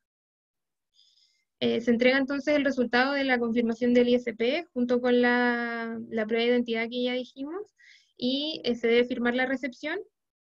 Se le explica entonces el resultado y, qué significa un poco vivir con eh, el virus como ser cero positivo también eh, acá es importante conversar con el paciente sobre el autocuidado, sobre todo lo que se viene un poco en temas de tratamiento y todos los cuidados que va a tener que tener de aquí en adelante, y sobre el cuidado de otros, sobre la el posible contagio de aquí en adelante que tenga para otras personas. También eh, en esta instancia se le pide eh, que cuente los nombres de, de los contactos sexuales, como les decía, de los últimos seis meses, y acá eh, se recalcaba de la confidencialidad, que no, cuando se contacta a estos pacientes se les dice que tienen un, contacto de riesgo, pero no se dice el nombre de la persona. También es importante recabar eh, redes de apoyo, personas significativas eh, o posibles situaciones de riesgo en general a las que se está exponiendo el paciente. Y bueno, la, la, otra gran acción que se hace acá es la derivación al especialista en VIH en el nivel secundario, eh, informar sobre el GES de VIH y la importancia de los controles que va a tener que tener este paciente de aquí en adelante. Y el apoyo psicosocial también es importante plantearlo por el equipo de salud mental, porque, eh, bueno, vamos a ver después toda la implicancia el, de recibir esta noticia, cómo lo toma, eh, cómo, y cómo esto va después influir en casi todos los aspectos de la vida de esta persona. Entonces, generalmente se, se ofrece este apoyo psicosocial por el equipo salud mental, eh, ya sea psicóloga, también el trabajador social, y vamos a ver después un poco de todo ese, ese control multidisciplinario. Acá sobre las garantías GES, eh, son es importante saberlas porque hay que contárselas al paciente un poco. Eh, y acá quisimos ponerlas para recordar un poco la garantía de acceso, los plazos que son importantes de, de saber para que el paciente también los exija. Eh, y entonces la garantía de acceso En la embarazada está el examen al ingreso del embarazo y también se puede tomar una segunda muestra cuando la embarazada tiene muchas conductas de riesgo. Cuando existe la sospecha clínica, obviamente, el acceso al examen y con la confirmación diagnóstica, el acceso a, todos los exámenes que se, sugieren en, en, el caso de ser VIH positivo, al tratamiento y al seguimiento también de la patología. Eh, existen también eh, los protocolos de prevención de transmisión vertical, que están bastante difundidos en los hospitales, y eh, también se, se, garantiza el acceso continuado a las terapias antirretrovirales. ¿ya? Esto, estas garantías GES es importante decir que corren para todos los pacientes FONASA e ISAPRE y se piden los mismos requisitos para ambos. En las garantías de oportunidad, el diagnóstico se debe hacer dentro de 60 días desde la sospecha. El tratamiento, el inicio o los cambios precoces del mismo dentro de 7 días desde la indicación médica. Entonces acá un poco se trata de, incentivar al, inicio lo más precoz del tratamiento posible, ¿ya? porque así vemos que eh, la respuesta es mucho mejor. El inicio o cambio no precoz del tratamiento acá da un plazo un poco mayor, son 35 eh, días desde la indicación médica en las embarazadas, eh, la garantía del el inicio de la terapia antirretroviral dentro de siete días también desde la indicación. En los recién nacidos, la profilaxis también dentro de las primeras seis horas de vida. El inicio inmediato de las fórmulas de inicio en los lactantes o recién nacidos. Eh, que esto vamos a ver después que no, suenan como indicaciones bastante obvias, pero antes no eran tan así en relación al parto, cuatro horas antes de la cesárea o cuando comienza el trabajo de parto se inicia la terapia antirretroviral en la mujer y la suspensión de la lactancia en las puérperas dentro de seis horas del nacimiento. Y bueno, de las otras garantías, eh, dentro de lo financiero, eh, cuando son FONASA A y B tienen 0% de copago, el FONASA C 10 y los FONASA D o las ISAPRES 20% de copago.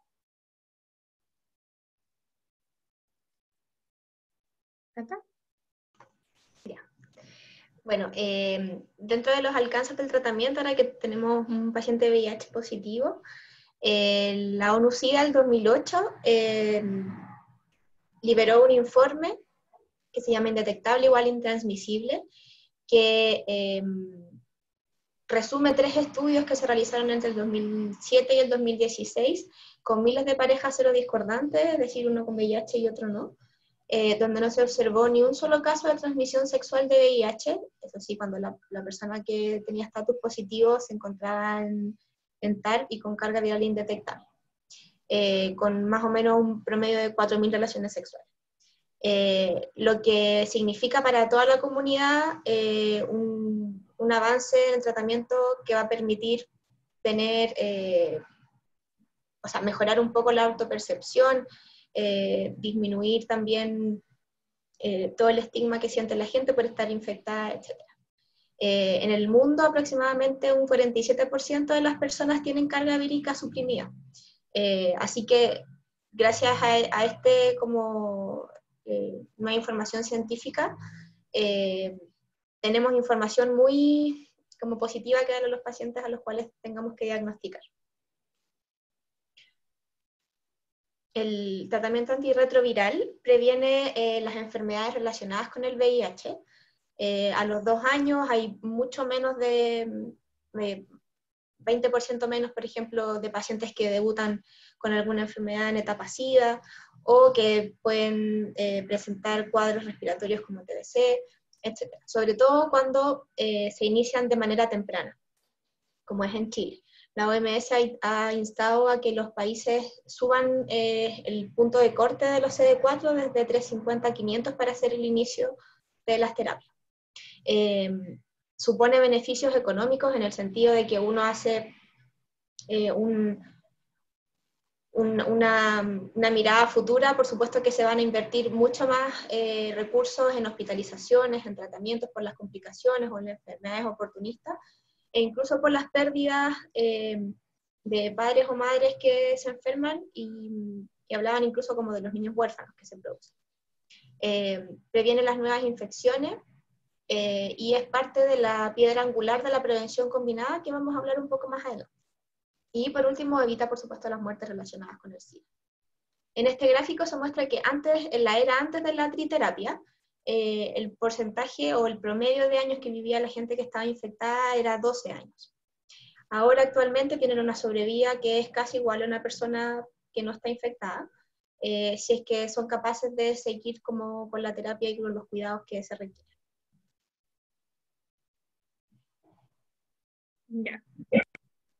Entonces acá igual eh, como para saber un poco qué pasa después que yo sospecho, le tomo el examen, salió positivo, lo derivo a nivel secundario y qué pasa ahí. Eh, bueno, se, como tenemos la garantía GES, acá se le solicitan a todos los pacientes una serie de exámenes que se deben ir repitiendo cada cierto tiempo.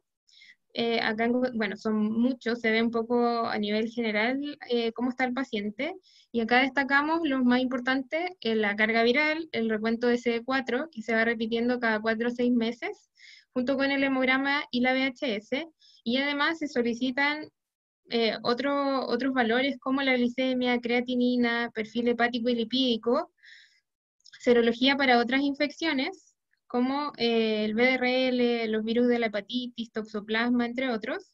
También se les pide el PPD, eh, una radiografía de tórax y el PAP. Y es importante eh, acá destacar que todos estos exámenes se repiten en forma anual, un poco para ir monitoreando cómo están los pacientes y, la respuesta a, la terapia antirretroviral. y se destaca el PAP que como lo hacemos en la APS, se debe repetir en forma anual en, todo, en todas las pacientes con VIH.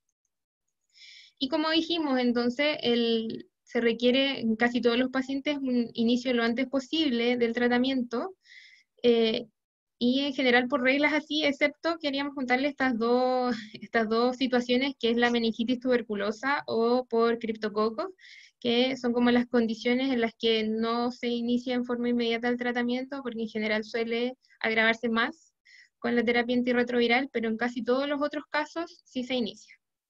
Y eh, destacar que eh, los pacientes mayores de 50 años, si eh, tienen dislipidemia, hipertrigliceridemia, tienen el antecedente de tabaquismo o tienen hipertensión, pasan al tiro a ser de riesgo cardiovascular alto con el diagnóstico de VIH. Y solamente entonces este, eh, queríamos mostrarles este mapita eh, en el que entonces como dijimos se le toman todos estos exámenes y situamos al paciente un poco en una etapa. Cuando nosotros pesquisamos eh, los pacientes en la etapa B o C, o sea, con una infección sintomática más cronificada o con las infecciones oportunistas, al tiro se van de inicio de la terapia y como decía la Cata, se hace un poco esta, esta diferencia con el recuento CD4.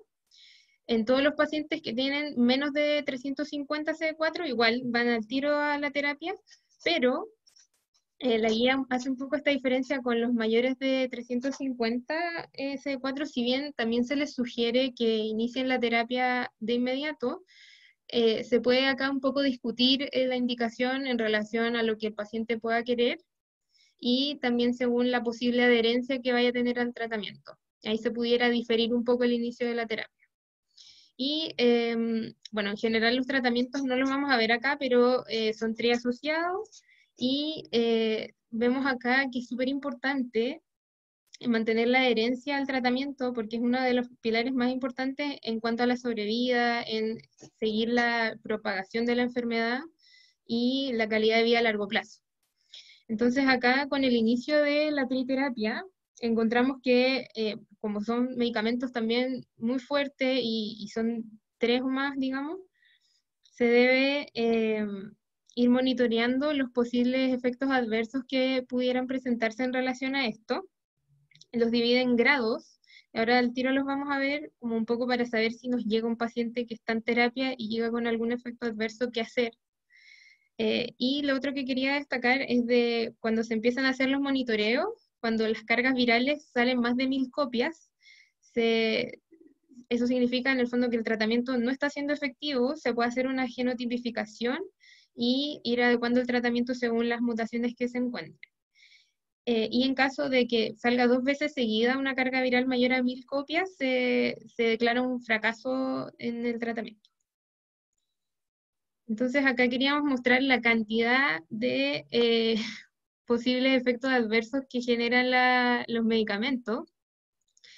Eh, entonces acá hay una serie de exámenes que se pueden ver alterados y además alguna sintomatología que nos pueden dar a entender eh, la mala tolerancia al tratamiento antirretroviral.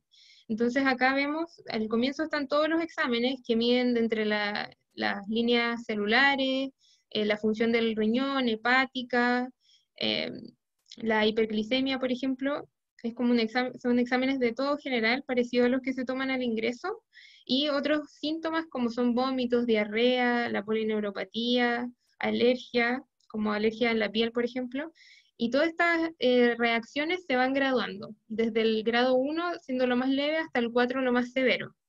Entonces el grado 1 y 2 se eh, dicen las guías que en el fondo se deben seguir los pacientes, se le van repitiendo los exámenes y se hace como el tratamiento específico para la alteración que encontremos o el tratamiento sintomático y no es necesario suspender la terapia, pero en los otros eh, ya es necesario mandarlos al tiro eh, al especialista para tratar de, de ver, porque en estos casos se suele suspender o modificar la terapia. Y en relación a lo que nosotros podemos hacer eh, para favorecer la terapia de estos pacientes, eh, es favorecer la adherencia o mantener al paciente en el tratamiento. Entonces acá quisimos poner tres eh, aristas o tres pilares un poco en los que podemos actuar a la hora de em, promover una buena adherencia en nuestros pacientes. Entonces, en la persona es súper importante trabajar las creencias, qué sabe y qué prejuicios puede tener sobre la enfermedad y sobre los eh, tratamientos, porque un paciente que en el fondo está convencido eh, y, que, y que se hace cargo un poco de su patología y de todo lo que esto conlleva, va a ser más adherente. Eh, siempre evaluar eh, la capacidad de comprensión, sobre todo eh, por los posibles esquemas de tratamiento, la toma de los tratamientos, que es súper compleja en algunos casos. Estar siempre atento y pesquisar eh, cualquier síntoma neuropsiquiátrico o abuso de sustancias actual, porque obviamente estos trastornos influyen harto en el abandono al tratamiento.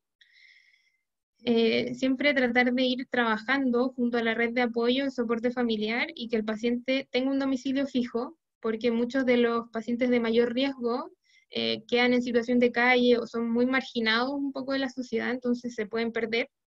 Y la precaución en los jóvenes, eh, un poco por las conductas de riesgo y baja percepción de riesgo que existe, y en los de edad avanzada, eh, por las posibles discapacidades sensoriales, como eh, auditivas o visuales, que a veces los influyen en, la adherencia al tratamiento y son súper tratables. En la terapia entonces vimos acá de los esquemas muy complejos, la frecuencia y la cantidad de fármacos que toman, que como sabemos, mientras más difícil la indicación, es más fácil fallar. Los requerimientos dietéticos que los vamos a ver al tiro eh, y reconocer los efectos secundarios que vimos recién, ¿ya? y saber cómo tratarlos o cuándo ya mandar al especialista. Y en cuanto al proveedor, eh, estos también son indicaciones que a uno le suenan bastante perogrullo, pero entor- entorpecen harto en la adherencia cuando no se llevan a cabo de buena forma. Entonces es importante mantener eh, una buena relación con el personal y el paciente, o sea, que el, el personal de salud no sea un impedimento para que el paciente pueda llevar a cabo su terapia. Facilitar una información detallada y comprensible siempre para que el paciente eh, tenga la mayor información disponible facilitar el acceso a los medicamentos, que eh, como han contado acá, no siempre se da, no en todos los casos se da, y evitar dificultades en la atención con trámites burocráticos que entorpecen solamente.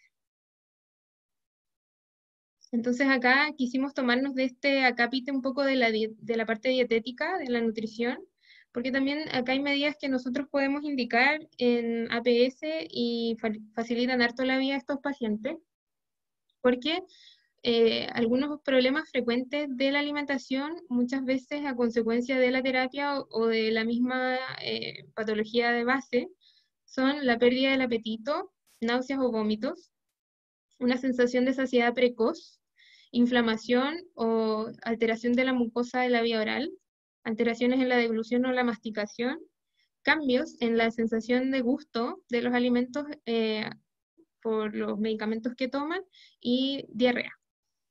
Entonces acá, como los pacientes pueden eh, presentar harta molestia y esto puede alterar la adherencia a los tratamientos, eh, pusimos algunas recomendaciones un poco para favorecer una buena nutrición en los pacientes. Y tenemos acá entonces aumentar las calorías en la, o sea, para aumentar las calorías en la dieta, eh, ir fraccionando las comidas, como tienen una saciedad precoz, dividir eh, en cantidades más pequeñas pero más veces, tener bocadillos cercanos cerca de la cama o de la tele, llevar alimentos que no sean eh, de fácil deterioro, sobre todo, por ejemplo, un paciente que trabaja y se lleva el almuerzo de la casa, que en ese rato no sea una comida que se echa a perder muy fácil y recomendaban hacer ejercicios leves como caminatas, por ejemplo, antes de comer porque eso aumenta el hambre. Para aumentar las proteínas, entonces, usar huevos duros, agregar eh, pedacitos de proteínas como carne, pollos, pescados. Eh, y bueno, se hablaba de eh, también usar leche para hacer cereales y batidos y no agua.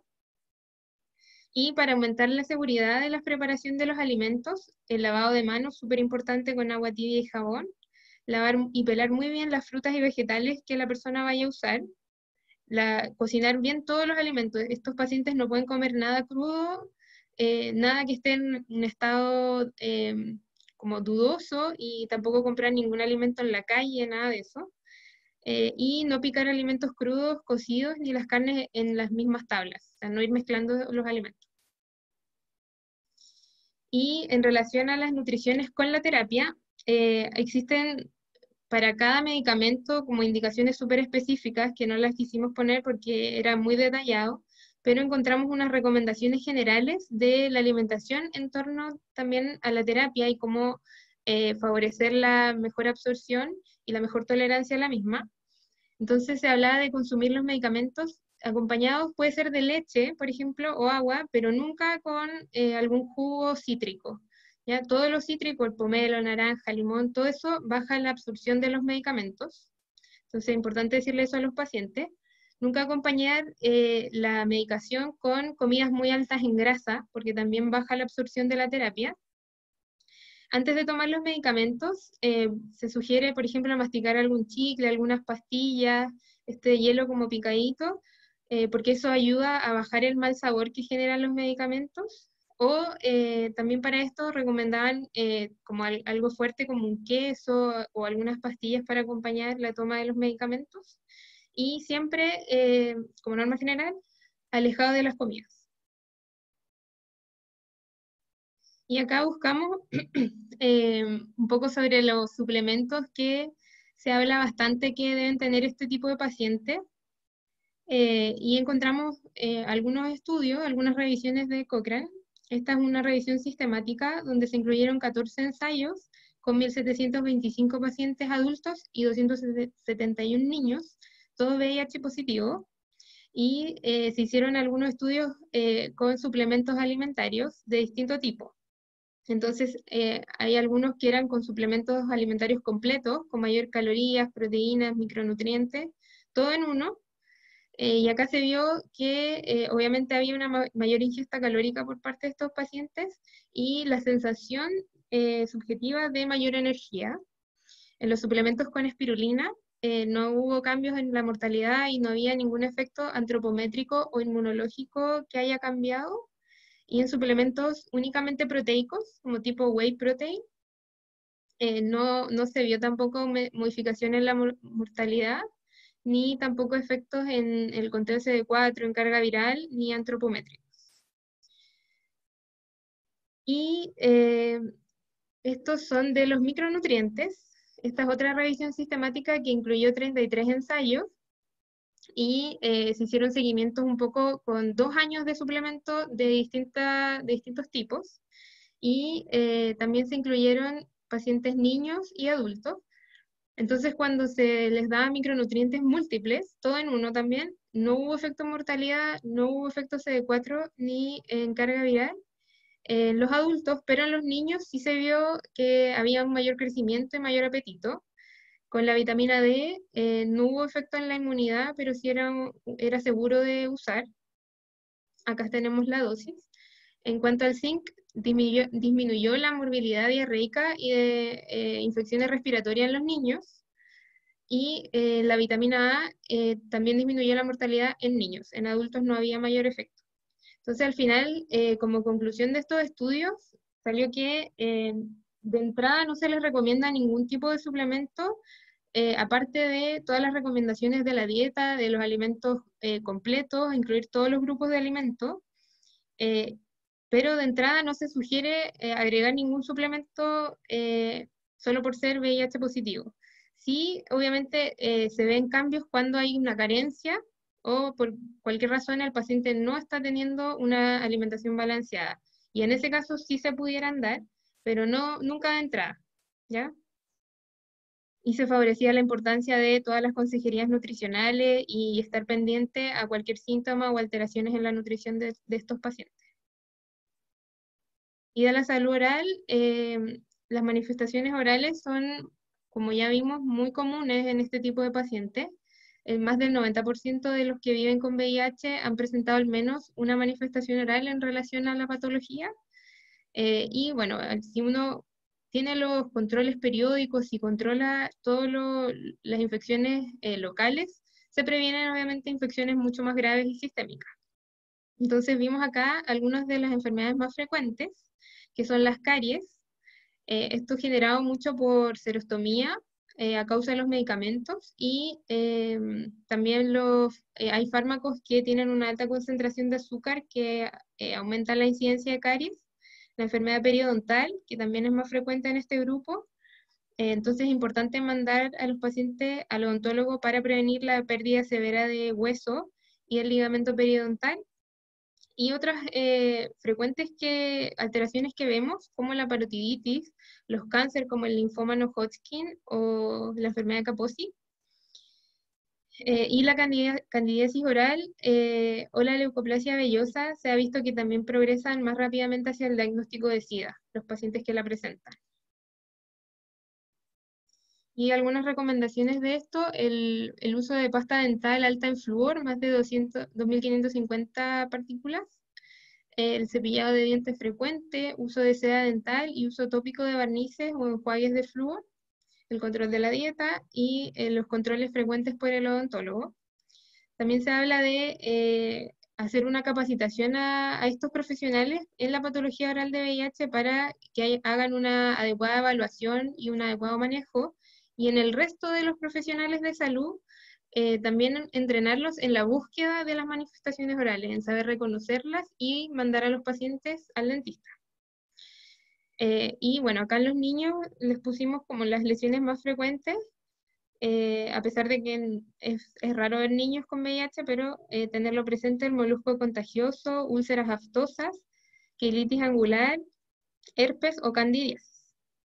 Y quisimos dejarle las dosis em, para tratar una candidiasis oral porque en realidad esta es la lesión más frecuente de ver en los pacientes VIH y puede ser un indicador importante de inmunosupresión. ¿ya? Siempre hay que estarlo buscando y preguntar por episodios anteriores de candidiasis. Y las dosis en un episodio inicial leve eh, se prefiere el, el, clotrimazol, 10 miligramos tópicos 5 veces al día por 7 a 14 días y eh, si no la nistatina, pero se han visto mejores resultados con el clotrimazol. Em, y el tratamiento es el mismo, por 7 a 14 días. En caso de un episodio moderado o severo de candidiasis, ya se prefiere el fluconazol, 150 miligramos al día por 7 a 14 días, y ya en casos más severos de candidiasis esofágica, eh, son dosis más altas, una dosis de carga de 400 miligramos de fluconazol y luego 200 a 400 miligramos día por hasta tres semanas. ¿ya? Entonces, para tener las dosis guardadas en caso de, de, que nos lleguen estos pacientes, porque son de las patologías más frecuentes y podemos tratarlas nosotros. Ya, quisimos hablar un par de palabras de, del PrEP, eh, que está bastante en boga ahora. Cada vez se habla más de este tipo de, de terapia o, o de estrategia. Eh, que significa Pre-Exposure Prophylaxis, o sea, es, como dice su nombre, un medicamento preventivo para evitar la adquisición del VIH. El PrEP está compuesto por dos antirretrovirales, que es el tenofovir y la emtricitabina, Y esta estrategia de prevención ha demostrado al- alta eficacia, pero únicamente cuando se mantiene la adherencia y se toma en forma correcta, en evitar la adquisición de la infección en personas que tienen conductas sexuales de riesgo. ¿ya? La eficacia es de hasta un 90%.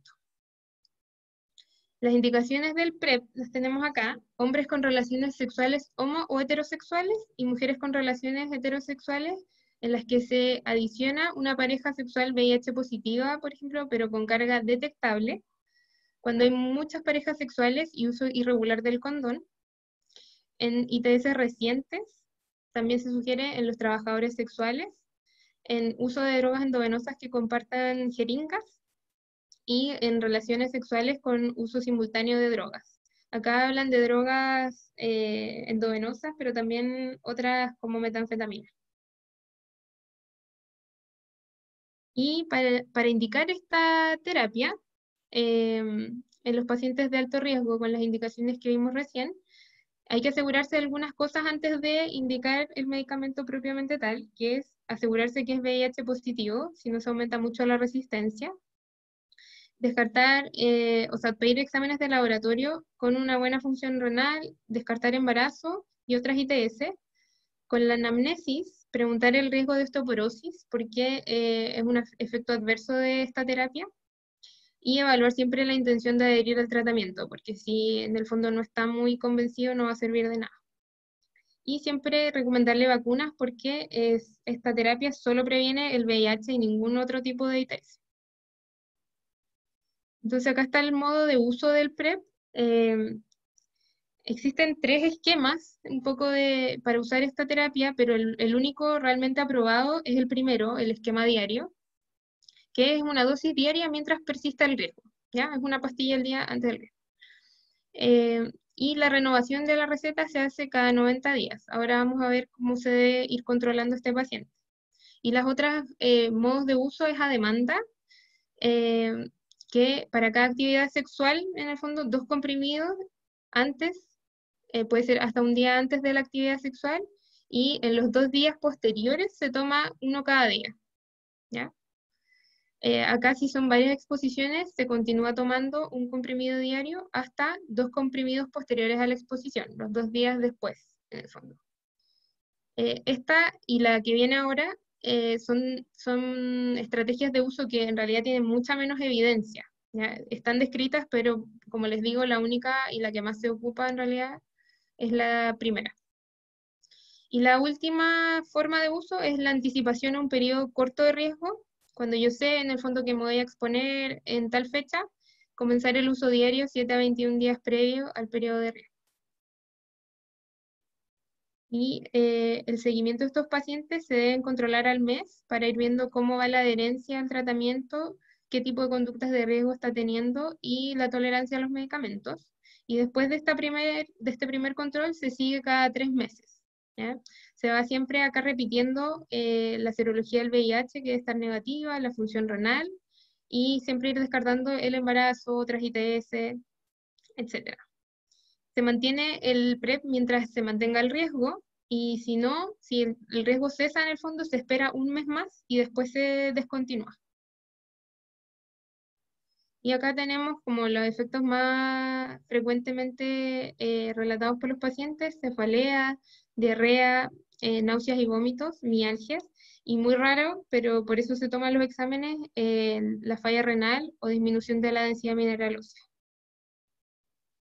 Entonces acá eh, es súper importante eh, del PrEP descartar el VIH previo al inicio.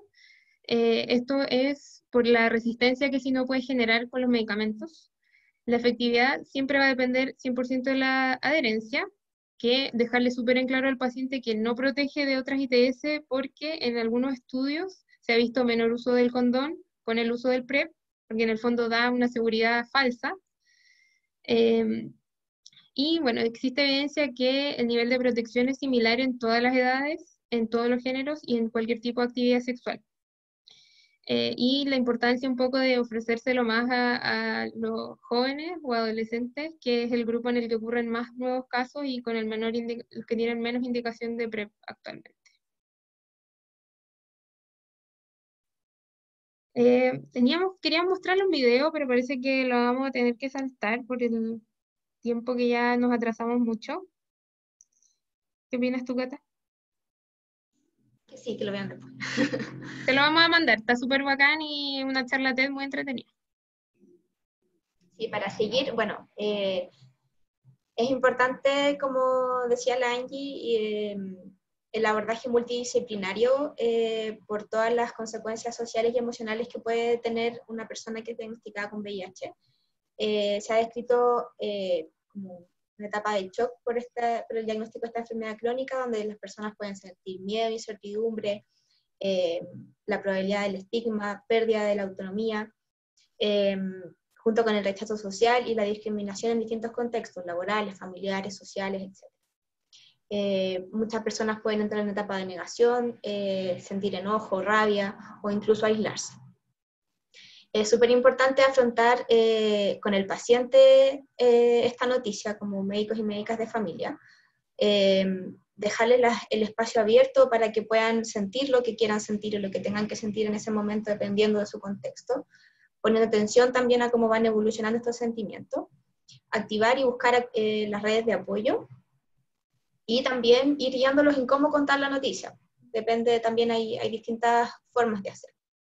Eh, hacer énfasis en la información, en los grupos de apoyo, que existen distintas fundaciones que eh, existen en Chile y en, el extranjero para poder tener información actualizada. ir quizá anticipando a los pacientes a las posibles situaciones que puedan afrontar eh, y anticiparlos, eh, junto con fomentar la toma de decisiones y trabajar en, resolución de problemas. Eh, bueno, dentro, como decía, del abordaje multidisciplinario es súper importante el, el, ámbito en el que él o la trabajadora social puede aportar junto con eh, ir viendo cuál es la historia social de esta persona, sus estados emocionales, ver si tiene otros estados comórbidos, su situación familiar, laboral o incluso judicial. Em, recordar a los pacientes que no es necesario que le cuenten a sus eh, empleadores o empleadoras eh, su estatus de VIH, a menos que, por ejemplo, tengan una larga licencia médica, etc. Pero recordarles que no es algo obligatorio, porque muchas veces se pueden sentir presionados, y lo mismo con la familia y evaluación de matrona si es que em, en domicilio si es que fuera necesario para que los pacientes no sientan, eh, muchas veces van al CEFAM y, sienten que porque tienen VIH los van a mirar distinto, les van a decir algo. Bueno, em, como les contaba adelante, la, prevención combinada es un conjunto de programas comunitarios eh, que está fundamentado en los derechos humanos eh, y la evidencia que promueve que una combinación entre las intervenciones tanto biomédicas, estructurales y comportamentales eh, que están diseñadas para, para, satisfacer las necesidades de prevención del VIH en distintas personas y comunidades. Eh, dentro de lo biomédico, como ya hemos dicho, destacar las intervenciones de disponibilidad y acceso a preservativos y lubricantes, el acceso a las pruebas de VIH, antirretrovirales, ojalá para lograr cambios detectables, eh, la transmisión madre-hijo, el PrEP y el PEP, que habló la Angie recién, la circuncisión masculina voluntaria, que también tiene evidencia de disminuir la transmisión del virus, y los programas de disminución de riesgo en las personas con drogadicción con agujas. Eh, dentro de lo comportamental, em, asesorar a las personas en estas conductas de riesgo, que como decía Lale, como cuando contaba sus casos, tratar de eh, decirles que pueden ser un, factor importante en contagiar a otras personas si es que no se cuestionan cuáles están siendo sus comportamientos. Eh, la educación sexual integral, eh, programas entre pares y también como las campañas de marketing, como decía como la, la Carol, qué campañas estamos dándole a la población y cómo eso nos guían a que efectivamente sirva como una prevención. Y por último, lo que vamos a hablar ahora tiene que ver con lo estructural, eh, en todo lo que significa la discriminación eh, de, los grupos de riesgo, eh, el abordaje de género y la violencia de género, que es lo que voy a hablar ahora, cómo esto se articula con las leyes que protegen estos derechos que se ven vulnerados, y intervenciones que sean efectivas en reducir el estigma y la discriminación.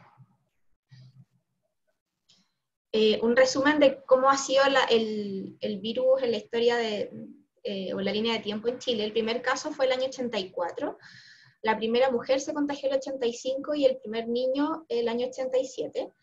Eh, y solo nueve años después de eso eh, salió el primer protocolo de transmisión madre-hijo. En 2005 el VIH fue agregado como una garantía explícita de salud. Y el año 2016, posterior a un informe eh, publicado por el Centro de Reproducción acá en Chile junto a otra fundación que se llama Vivo Positivo, que se llama Dignidad Negada, se, eh, como en respuesta a este informe se sacó el protocolo de mujeres viviendo con VIH, dado que este informe reveló eh, vulneraciones de derechos importantes que también vamos a revisar eh, más adelante. Para eso, dale Angie. Em, me, gustaría que partiéramos viendo como algunos hechos importantes como de, cómo las mujeres en Chile viven y han vivido el VIH o el SIDA. Eh, a saber, la, la, mitad de la población que está contagiada en el mundo con VIH son mujeres. Y el año pasado, según la ONU-SIDA, eh, eran 13.000 las mujeres en Chile que estaban contagiadas. Más del 80% de los nuevos casos de mujeres infectadas ocurren en relaciones matrimoniales o relaciones estables de largo plazo que supuestamente son monógamas eh, y por lo tanto tenían baja percepción de riesgo. El condón femenino es el único método seguro, efectivo y controlado por la mujer que está disponible en la actualidad para prevenir el VIH. Sin embargo, no es accesible a nivel masivo, tanto por el costo que tiene, eh, además por la escasa eh, conciencia de, existencia y de uso y de educación del condón femenino. El riesgo de transmisión madre-hijo del VIH en embarazo, en el parto o en la lactancia, sin tratamiento o sin abordaje puede llegar a ser del 45%, sin embargo, como hemos dicho en la presentación, em, en hijos o hijas que nacen por cesárea y que han tenido acceso al tratamiento tanto la madre como los hijos y con sustituto, de lactancia materna, se puede reducir hasta menos de un 2%. Eh, en Chile el VIH está asociado también a estigmas de ciertos grupos que supuestamente se escapan de la norma. Em, por ejemplo, a conductas sexuales como la homosexualidad, la promiscuidad y la infidelidad, y hacen que el virus se perciba como algo que le va a pasar a otra persona, ¿ya? Em, y por último, el estigma generalizado del VIH conduce a un trato discriminatorio eh, en distintos ámbitos o esferas de la vida, eh, y vamos a pasar a revisar un poco cómo ha sido esto en el sistema de salud. Bueno, em, aquí en esta tablita, em, por una cosa de tiempo, no, voy a hacer como un resumen de las tres en este informe de, dignidad negada se hicieron estudios en 27 mujeres de distintas comunas, o sea, de distintas regiones de Chile, principalmente eh, Arica, Biobío, Araucanía, Santiago. Eh, y claro, ellas mediante sus propias experiencias iban eh, describiendo cuáles eran los procesos de discriminación, de acceso estructurales que existían en los sistemas de salud, asociado también a, a los relatos de equipos de salud directores de centros, médicos, matronas, enfermeras. En el primer caso de Daniela, que era una mujer de 26 años en Arica, em, fue expuesta a información falsa con respecto al VIH. Como decía la Angie, el VIH no se contagia por besos. Eh, y ella supo en ese momento que estaba siendo discriminada y muchas otras pacientes se daban cuenta que el equipo de salud no tenía la información suficiente para orientarla eh, una vez siendo diagnosticada positiva. Luego, en el caso de Karina, que está un poco más abajo, a mano izquierda, eh, ella relataba un poco de cómo no había recibido ni consejería ni, un consentimiento informado eh, previo a realizarse el VIH. Ella no tenía idea de lo que era el VIH antes de saber que había sido diagnosticada positiva, eh, siendo que era muy probable que ella fuera VIH positiva porque su pareja había sido diagnosticada. Entonces, tampoco se realiza muchas veces la consejería, siendo que hay alto riesgo de que las, mujeres tengan este resultado positivo. Eh, y por último, eh, el MinSal ha informado que una de las principales eh, limitantes para la articulación de la red es cuando los médicos retrasan o incluso niegan la atención a mujeres VIH durante mm, la derivación a otras especialidades, como se muestra ahí en, el año en, en 2004 Teresa, que no la querían operar de un tumor en el hombro porque nadie quería atender a una persona que tenía VIH o SIDA. Em, lo cual eh, se consultó a uno de los médicos eh, de los centros de salud estudiados y refería que era para el equipo de salud súper necesario saber el estatus serológico de las personas para saber qué precauciones tomar. Siendo que esta no es una causal eh, válida para violar la confidencialidad de una paciente, porque eh, las precauciones que se tienen que tener con respecto a un procedimiento dependen más bien de la naturaleza del procedimiento y no del estatus serológico de la persona. Dale. Em, bueno, y acá eh, tiene que ver con a mano izquierda arriba, con la esterilización, que puede muchas veces llevarse a cabo de manera incorrecta o incluso forzada.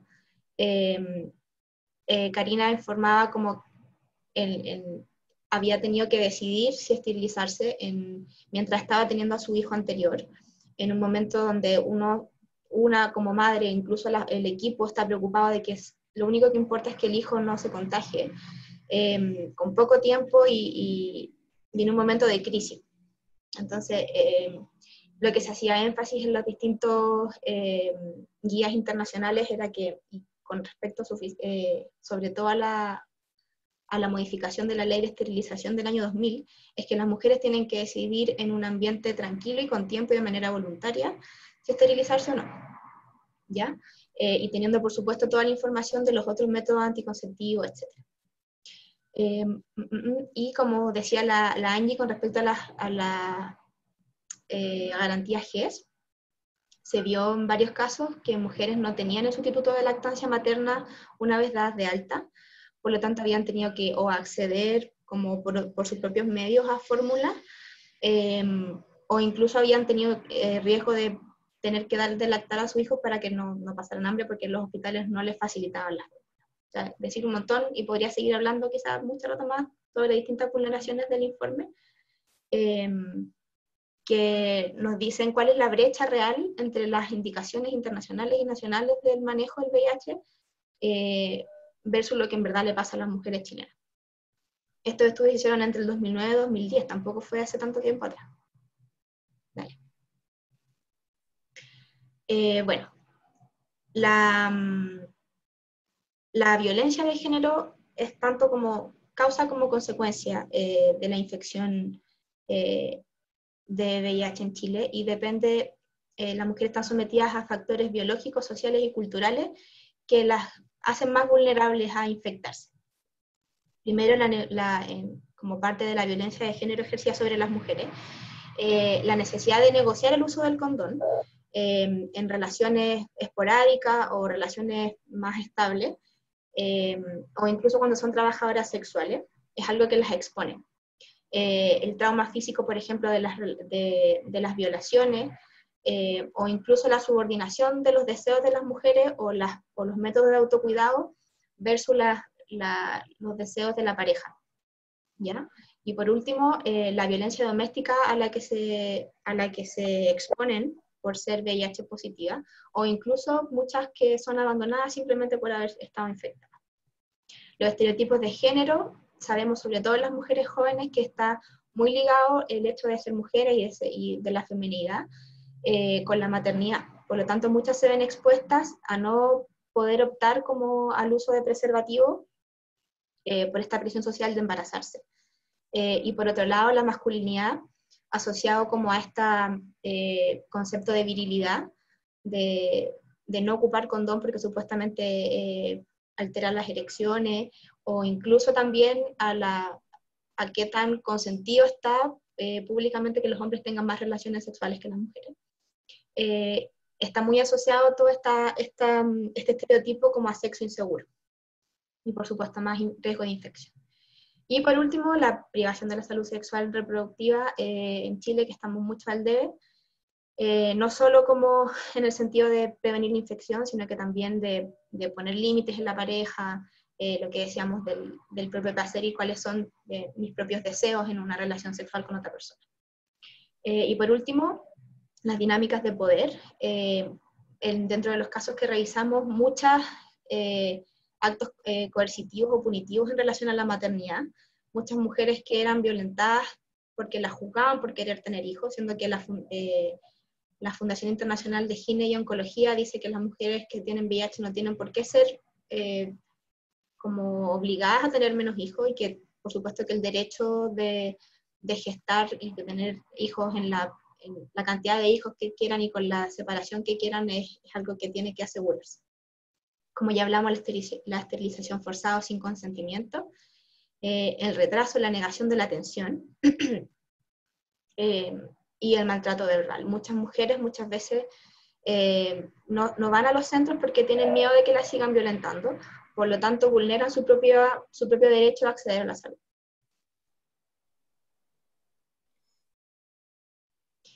Eh, bueno, nosotros como médicos de familia tenemos que evitar perpetuar las consecuencias que tiene la violencia de género sobre la infección del VIH sobre las mujeres.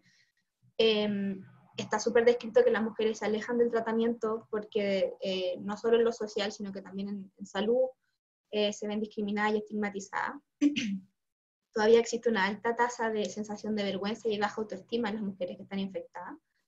Em, lo que disminuye la capacidad de autocuidado y también de tomar el control de la propia vida eh, y, de, medidas de cuidado para, también para la gente con la que vive. Lo que por supuesto trae consecuencias en la salud pública. Eh, y a pesar de que actualmente menos del 5% de las personas no se quiere realizar el test cuando hay sospecha, no podemos asegurar de que eso siga siendo así. Eh, y por supuesto, tampoco no revelar el estatus serológico a los funcionarios puede también traer como baja tasa de detección. ¿ya? Eh, tanto las usuarias consultadas en el estudio como eh, los proveedores de salud coincidieron en reconocer que el problema es la capacitación de los trabajadores, eh, que es muy técnica, es decir, no, están enfocados en, en, todo esto que estamos hablando, que es muy importante para poder lograr metas más tangibles o objetivas. Ya.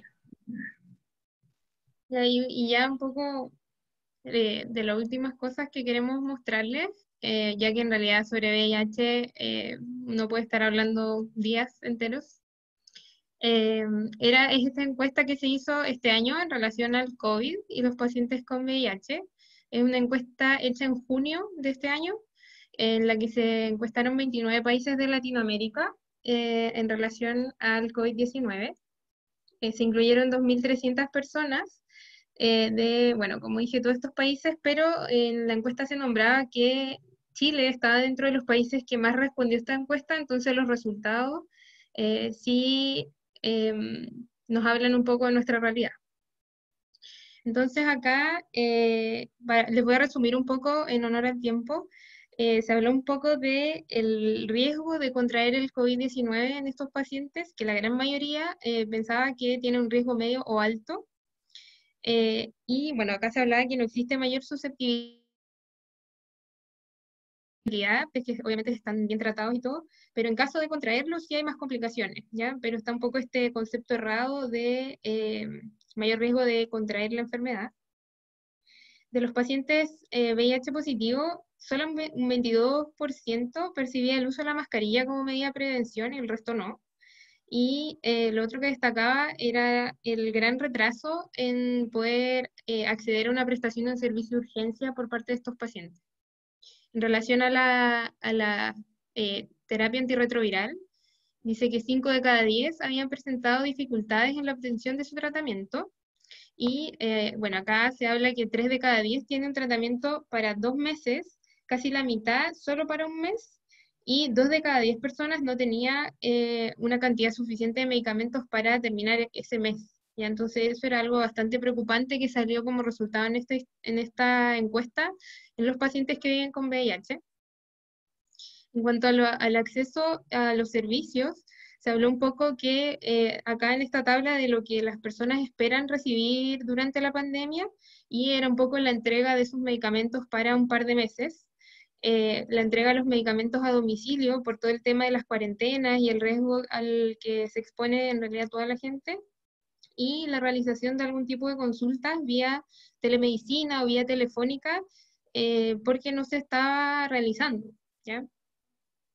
Y acá entonces, eh, 7 de cada 10 manifiestan que para no interrumpir su tratamiento necesitan contar con alguna forma segura y confidencial de obtención de su tratamiento eh, acá, bueno, casi ninguno de los pacientes, en el fondo un 17% solamente eh, tenía la entrega de los medicamentos en su domicilio y eh, solo 3 de cada 10 se les ofreció opción de telemedicina.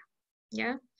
Y acá lo otro preocupante es que eh, 4 cada 10 eh, manifestaban requerir apoyo psicológico para abordar toda la ansiedad que genera esta pandemia. Y muchos de ellos no estaban obteniendo esta, este apoyo psicológico eh, que lo necesitaban. Acá entonces, bueno, de la parte de la discriminación, más de la mitad eh, refería a sufrir violencia física, psicológica o verbal en medio de la pandemia por el hecho de ser VIH positivo. Tres, de cada diez se han abstenido de usar los servicios de salud eh, por temor a ser discriminados y también un gran porcentaje no saben a dónde acudir eh, o a dónde llamar en caso de ser violentados, ¿ya? Y bueno, un poco más de la parte social, eh, se ha visto que han habido pérdida de empleo o falta de ingresos y las personas deben salir en medio de la pandemia y todo, porque es la única forma de obtener algún tipo de ingreso diario, debían salir todos los días.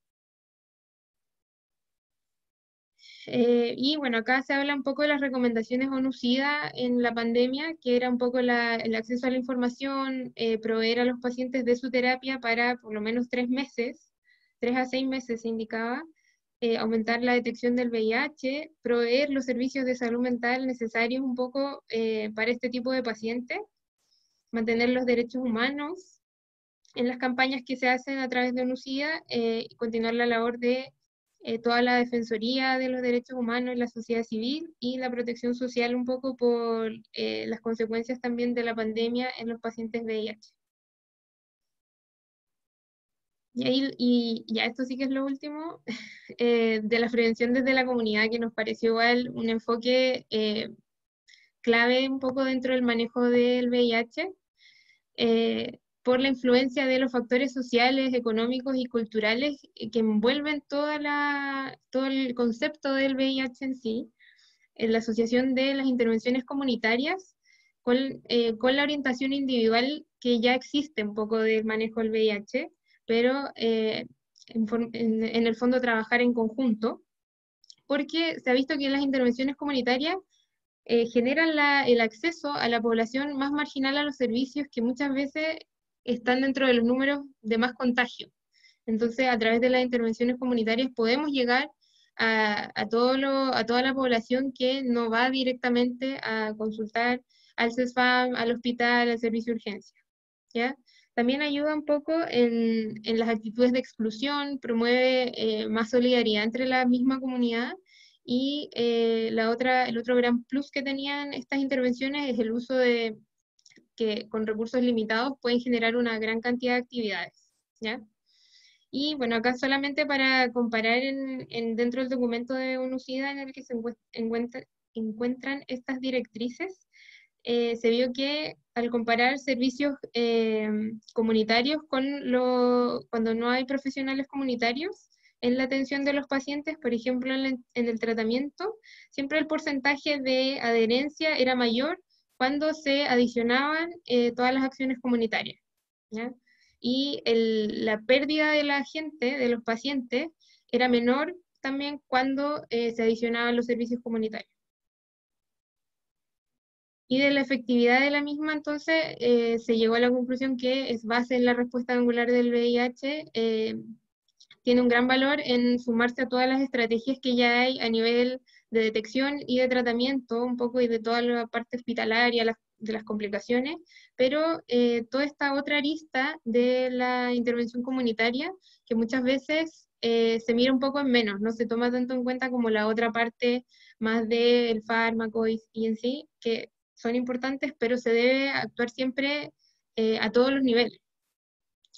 lo otro que se destaca acá es de el conocimiento que tiene la comunidad de sí misma, cómo son sus experiencias y cuáles son las necesidades específicas de esta comunidad propiamente tal. Entonces así se pueden identificar cuáles son las vulnerabilidades y trabajar mucho más específicamente en eso. Eh, también se destacaba dentro de las comunidades eh, la asesoría legal, toda la información y los servicios disponibles para la atención de los pacientes VIH, lo que ayudaba bastante con toda la parte de la discriminación que sufren estas personas. Y eh, también se vio en los trabajadores comunitarios toda la, aceptación, el alcance que tienen a nivel eh, de las comunidades y eh, que además a través de ellos se percibe una mayor dignidad, una mayor calidad de vida hacia las personas y una mayor retención de la atención en todas las personas VIH positivo o personas que viven con VIH. Entonces, con las intervenciones comunitarias también se puede ver eh, ma- mayor acceso al tratamiento en todas las personas, eh, mayor probabilidad de uso de los servicios de prevención y eh, también el uso sistemático de preservativos en, en los 12 meses anteriores en este estudio se vio aumentado también con este enfoque comunitario. Esto es como un resumen, se lo voy a dejar para que lo lean porque está bastante bueno.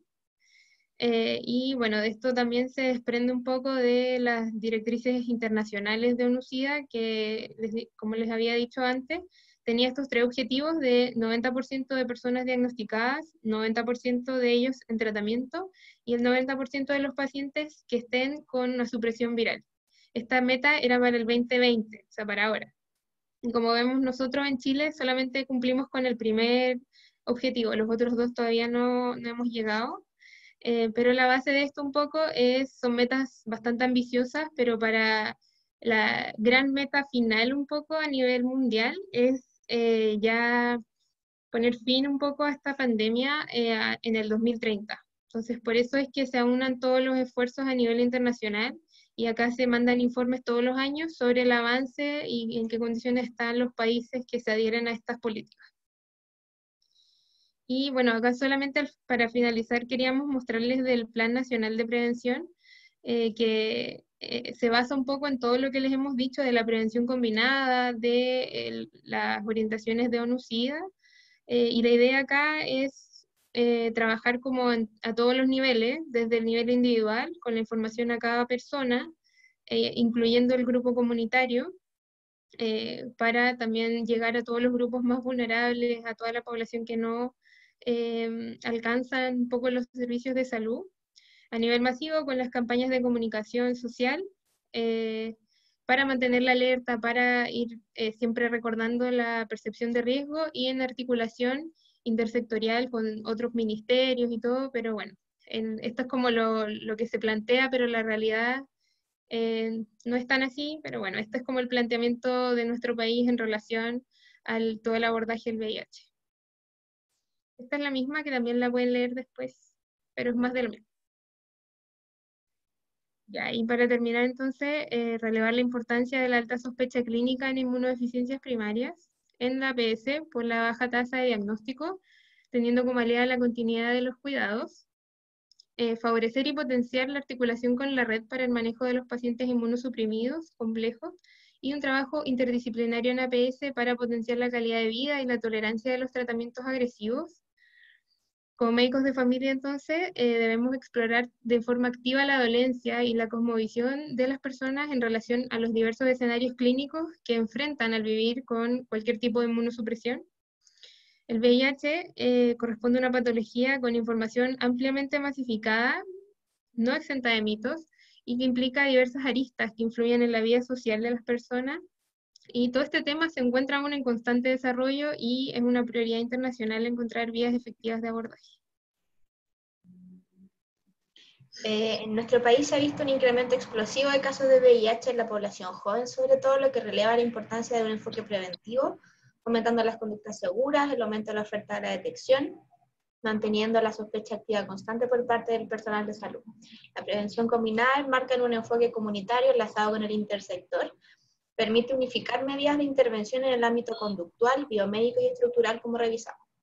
Todo lo anterior cimentaba los derechos humanos y, pla y planificaba en relación a las necesidades y realidades específicas de nuestras poblaciones y comunidades. A pesar de todas las medidas y campañas realizadas en relación al VIH, en la actualidad aún existe discriminación y estigma, frente a lo cual fracasan las políticas públicas planteadas hasta el momento y nos alejan de la erradicación futura de la pandemia. Listo.